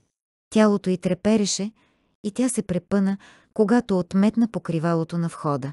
Вътре гореше огън и от блясъците му осветяваха вигвама. Тя веднага видя леглото въгъла, покрито с бизонски кожи. Нямаше друго легло. До този миг Айрис не бе осъзнавала напълно любовта си към Монти. Сега внезапно разбра, че иска да се люби с него. Тялото й мечтаеше да се озове в силната му прегръдка, искаше да почувства устните му върху своите, да се притисне до гърдите му. Девойката не знаеше дали и той иска да се люби с нея. А дори и да искаше, не бе сигурна, че ще го направи. Монти се огледа неуверено наоколо и после се ухили. Обзалагам се, че за пръв път виждаш бизонски кожи. Така е. Никога не бях яла и подобни неща, каквито ни поднесоха индианците, но все още съм жива. Предполагам, че заради вечерята, която ни сервираха, самите те ще гладуват. Мислят, че ни дадоха най-доброто, което имаха. Утре сутринта ще ни пуснат ли да си отидем? Да. Техният вожд се надява да измъкне от нас колкото е възможно повече крави. Колко смяташ да им дадеш? Две. Но това е малко. Те наистина гладуват. Колкото и да им дадем, те пак ще гладуват. Какво смяташ да правиш? Мисля да сключа сделка с тях. Каква? Утре ще ти кажа. Айрис разбираше, че те говореха за незначителни неща и никой не смееше да говори за това, за което и двамата мислеха. Тя погледна с крайчеца на окото си към леглото въгъла. Монти също погледна стеснително натам. Младото момиче отчаяно искаше да разбере какво мисли той в момента, но лицето му бе твърде напрегнато и тя не посмя да го попита. Не и се щеше да чуе, че не я желае. Не съм сигурен, че ако остана тук, ще стоя настрани от теб и няма да те докосна. Промълви най-накрая Монти. Не съм сигурен и какво щеше да се случи край онзи поток, ако не се бе появил Карлос. По тялото й премина вълна на радост и облегчение. Той я желаеше. Желаеше я толкова силно, че не бе сигурен дали ще може да се владее. Между тях се усещаше напрежение. Тя не знаеше как да му каже, че иска той да я докосва. Не искаше той да си помисли, че е лекомислено момиче, което е свикнало с мъжките ласки. Ако му кажеше, че тялото й жадуваше за неговото, сега той сигурно щеше да се зарадва, но по-късно щеше да се отвърне от нея. Аз ти вярвам, промълви девойката. Не трябва да ми вярваш. Ти не би ми причинил болка. Не, не бих те наранил за нищо на света. Айри се приближи към огъня, пред който бе метната една бизонска кожа и се отпусна на нея. Тогава не се страхувам. Сигурна ли си? Да. Младият мъж се отпусна до нея. Опитваше се да не се докосва до момичето. Ако тя се бе отдръпнала настрани, той може би щеше да се овладее. Или поне щеше да опита. Ала тя бе толкова близко, че той усещаше топлината на тялото й. От месеци бе измъчван от сънища, в които се любеше с Айрис. Цялото му тяло бе изпълнено с купнеж и желание. Само при мисълта за нея почувства, че се възбужда. Питаше се какво ли бе разказвала Хелън на дъщеря си за мъжете. Вече бе разбрал, че девойката явно не следваше сляпо съветите на майка си. Не разбираше защо Ерис го желае, но усещаше, че бе искрена. Тя просто искаше да бъде с него. Той също искаше да бъде с нея. Господи, колко много я желаеше. Протегна се и леко помилва бузата й с ръка. Тя не се отдръпна, нито пък отблъсна ръката му. Всъщност, младото момиче стоеше неподвижно. Айри се чувстваше така, сякаш костите й бяха омекнали. Изглеждаше слаба и изтощена. Хелън бе средна на ръст, с чувствено и закръглено тяло. Айрис бе по-слаба и по-фина и не притежаваше майчината съблазнителност. Докато тялото на Хелън приканваше и обещаваше наслада и насищащо удоволствие, той Рис го караше да се чувства изпълнен с живот и ненаситно желание да я притежава отново и отново. «Оплашена ли си?» — попита Монти. Тя стоеше неподвижно, без да каже нито дума, сякаш не дишаше. «Не!» — едва чуто прошепна младото момиче. «Искаш ли да спра?» Тя поклати отрицателно глава, а и той не мислеше, че вече би могъл да спре. Кожата й беше толкова топла и гладка. Никога до сега не бе забелязвал кожата на жените, които познаваше, нито пък се бе опитвал да сравнява Айрис с някоя от тези жени. Знаеше, че тя не прилича на нито една жена, която познаваше. Айрис облиза сухите си устни. Стомахът ти се бе свил на топка, а сърцето й то биеше силно, то сякаш замираше. Чувстваше се, като че ли изгаря в треска. Мъжът, когато обичаше, искаше да се люби с нея. Изобщо не помисли, че той може би не я обича. На нея и бяха необходими години, за да разбере, че го обича. Може би и с него щеше да се случи същото. Всички говореха, че Монти е прекалено заед с кравите, за да има време за жени. Бе прекарал по-голямата част от живота си на седлото. Всъщност, никога досега не се бе интересувал от някоя жена за повече от една-две нощи. Той бе нейната първа и единствена любов. Може би тя също щеше да бъде неговата първа и единствена любов. Обаче сега не можеше да мисли за тези неща. Не и когато ръката му се плъзгаше по лицето й, а устните му се впиваха в нейните. Неговото докосване, цялото му държание показваше, че тя не бе само мимолетна прищявка за него. Защо иначе щеше да се опитва да устои на желанието да я притежава? Виждаше, че Монти все още успява да се владее, но всичко в него бе напрегнато и сякаш всеки момент щеше да избухне. Тя знаеше, че нещо ще се случи и чакаше. Внезапно той пое дълбоко въздух и я притисна силно към себе си. Айрис усети как в нея изчезнаха всякакви задръжки и се почувства свободна и окрилена. Вече нямаше въпроси, нямаше съмнение, че не трябва да прави това. Всичко беше както трябва. Ненадейно в главата й изплуваха откъслечни съвети и наставления, които майка й бе давала, но тя ги пропъди. Нямаше нужда от тях, не искаше призрака на Хелън да й казва какво трябва да направи, за да накара един мъж да се чувства безпомощен. Искаше да изпита радостта да отвърне на целувката на Монти, без да мисли доколко е била съблазнителна и дали е успяла да го подчини на волята и желанията си. Не искаше да пресмята колко му е дала и колко още да му даде. Беше щастлива, защото знаеше, че той я желае и иска да я люби. Не трябваше да ти позволявам да идваш с мен прошепна Монти. Не можеше да ме спреш. Не мога да спра и себе си, отвърна той. Устните му се притиснаха към нейните и Ерис потръпна от изненада, когато езикът му жадно нахлу в устата й и я засмука. Никой мъж до сега не си бе позволявал подобно нещо. Ала Монти не беше като другите мъже. За никой друг мъж тя не би напуснала сигурния лагер и не би се отправила в селището на команчите, не би яла храната им, нито пък би прекарала нощта в някой от вигвамите им. Само Монти можеше да й внуши такова чувство на безопасност и сигурност, че да пренебрегне всичко останало. Само с Монти искаше да се люби. Никога до сега не бе искала някой мъж да я докосва и никога не бе позволявала. А сега знаеше, че каквото и да поиска Монти, тя щеше да му го даде. Само заради него би поела такъв риск и знаеше, че ще приеме и всички последствия. Ти си толкова красива, промърмори Монти. Ти не можеш да ме видиш. Можех да приличам на една от онези нещастни индианки и ти едва ли щеше да разбереш. Щях да разбера, уверия той. Един мъж винаги разбира. Но дали той знаеше, че една жена може да притежава и душевна красота? Дали той наистина разбираше чувствата и мечтите й? Сигурно не. Но тя също почти не познаваше мъжете. Докато майка й бе жива, тя приемаше съветите й, без да й противоречи. Когато остана без родители, трябваше сама да реши как да живее, за да може да оцелее. И постепенно бе разбрала, че иска от живота неща, които не можеха да се постигнат, ако следваше съветите на майка си. Монтия бе научил как да опознае себе си, беше й помогнал всеки ден да открива по нещо ново. А точно сега й показваше, че тялото й е подвластно на такива силни желания, каквито никога не си бе представила. Не би избягала от Монти, дори да й предложиха всички пари, които баща й бе изгубил.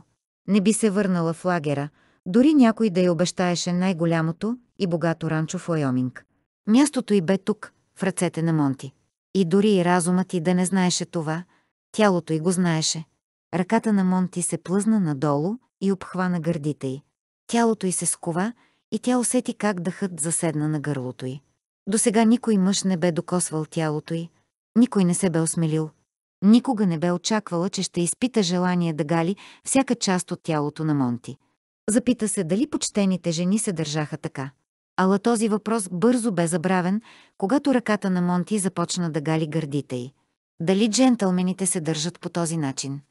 Запита се тя. Той разкопча блузата й и покри гърдите й с целувки. Тялото изгаряше като в огън. Айрис усещаше, че трябва да направи нещо, да каже нещо, но неговите буйни ласки и целувки я изненадаха и тя можа само да изохка от удоволствие. По тялото й преминаваха горещи вълни и я изпълваха с безкрайна наслада. Чувстваше се едновременно замаяна, вцепенена, но по-жива, отколкото някога досега. Когато Монти покри гърдите и целувки, помисли, че ще умре от щастие. Той съблече и останалите й дрехи. Айрис лежеше гола в прегръдките на един мъж. Но дори и шокът от това откритие не намали силата на насладата, която я бе обвила като пашкул. Монти продължаваше да гали тялото й, дразнеше зърната и с език и младото момиче си помисли, че ще се възпламени и ще избухне. Гърдите й бяха штръкнали от възбуда и тя едва се сдържа да не закрещи от напрежение. Тогава внезапно почувства как пламъкът, който изгаряше тялото й, се спуска по-надолу. Сякаш всичко се завъртя в огнен вихър. Айрис не можеше да мисли за нищо и никого. Всичко в нея изгаряше от желание и купнеш да бъде задоволена и успокоена. Ръката му се плъзна между бедрата й. Девойката ахна от изненада, когато почувства пръстите му. Тя се сепна и инстинктивно се отдръпна. Ала удоволствието, което изпита, се разля по цялото й тяло, тя се отпусна и разтвори крака. Лежеше безпомощно върху бизонската кожа и бе готова да му се отдаде. В мига, в който почувства, че тялото й сякаш ще се разпадне и ступи от желание, Монти докосна сърцевината на нейната женственост и тялото й потръпна от вълните на екстаз и наслада. Първият път малко ще те боли, прошепна той и легна върху нея. Ала болката изобщо не можеше да я оплаши. Когато Монти започна да прониква в нея, тялото й се напрегна, ала тя не се отдръпна. Той продължаваше да я гали и целува. «Моля те!» изтена тя и се изви към него. Изведнъж той проникна до край в нея. Почувства остра болка и отново се напрегна. Той сякаш я изпълваше цялата, болеше я и това не й хареса. Повече няма да боли, промълви той. Никога повече няма да боли. Монти се движеше в нея бавно и ритмично. Болката бързо отихна и бе заменена от едно ново усещане, което я караше да се движи заедно с него. Техните движения постепенно се ускориха, тялото й се разтърсваше от силни спазми, ръцете й притискаха мъжа с жар и тя се извиваше под него. Никога не бе изпитвала такава изгаряща страст и желание да се слее с някого. Айрис притисна Монти още по-силно, целуна го пламенно, а езикът ти се плъзна в устата му. Тя усети как тялото му се напрегна и дишането му се очисти. Преди да успее да си зададе въпроса какво става с Монти, в тялото й сякаш избухна пламък и се разля огнена течност. Чувстваше се изтощена, но изпълнена с живот. притисна се към него, като че ли от това зависеше живота ти. Той потръпваше в прегръдките й. Младото момиче се огъна под него, ала той не помръдна. Тя усети как той се отдръпва от нея. Бяха толкова близко един до друг, но той сякаш вече се изплъзваше от ръцете й. Не! задъхано простена девойката. Не спирай! Той отново започна да се движи. Мускулите й се напрегнаха, тялото й се изпъна като струна. Помисли си, че ще се пръсне на хиляди парчета. После внезапно усети сладката болка на освобождаването, която изпълни всяка частица от съществото й. В същия миг напрежението изчезна и тя се отпусна изнемощяла. Усещаше се изтощена, изцедена, напълно задоволена. Силните ръце на Монти я обгръщаха и тя се отпусна върху гърдите му. Айрис не можа да заспи.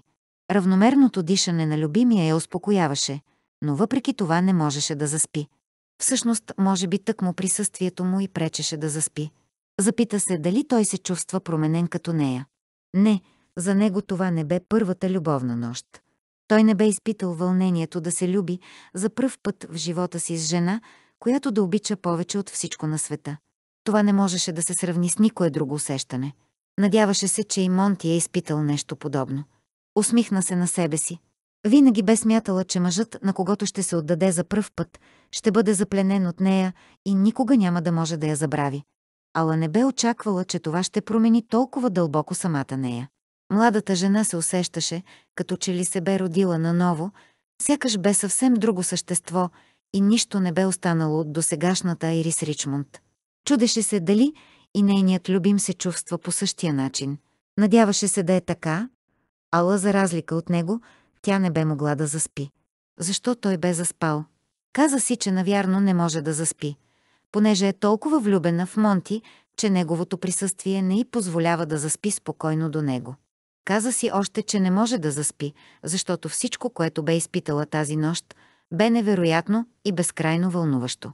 Не можеше да заспи, защото бе прекалено щастлива и не искаше да проспи нещастливите мигове от живота си. Как можеше Монти да спи? Не се искаше да вярва, че тази нощ няма особено значение за него. На сутринта щеше да разбере. Той щеше да й каже.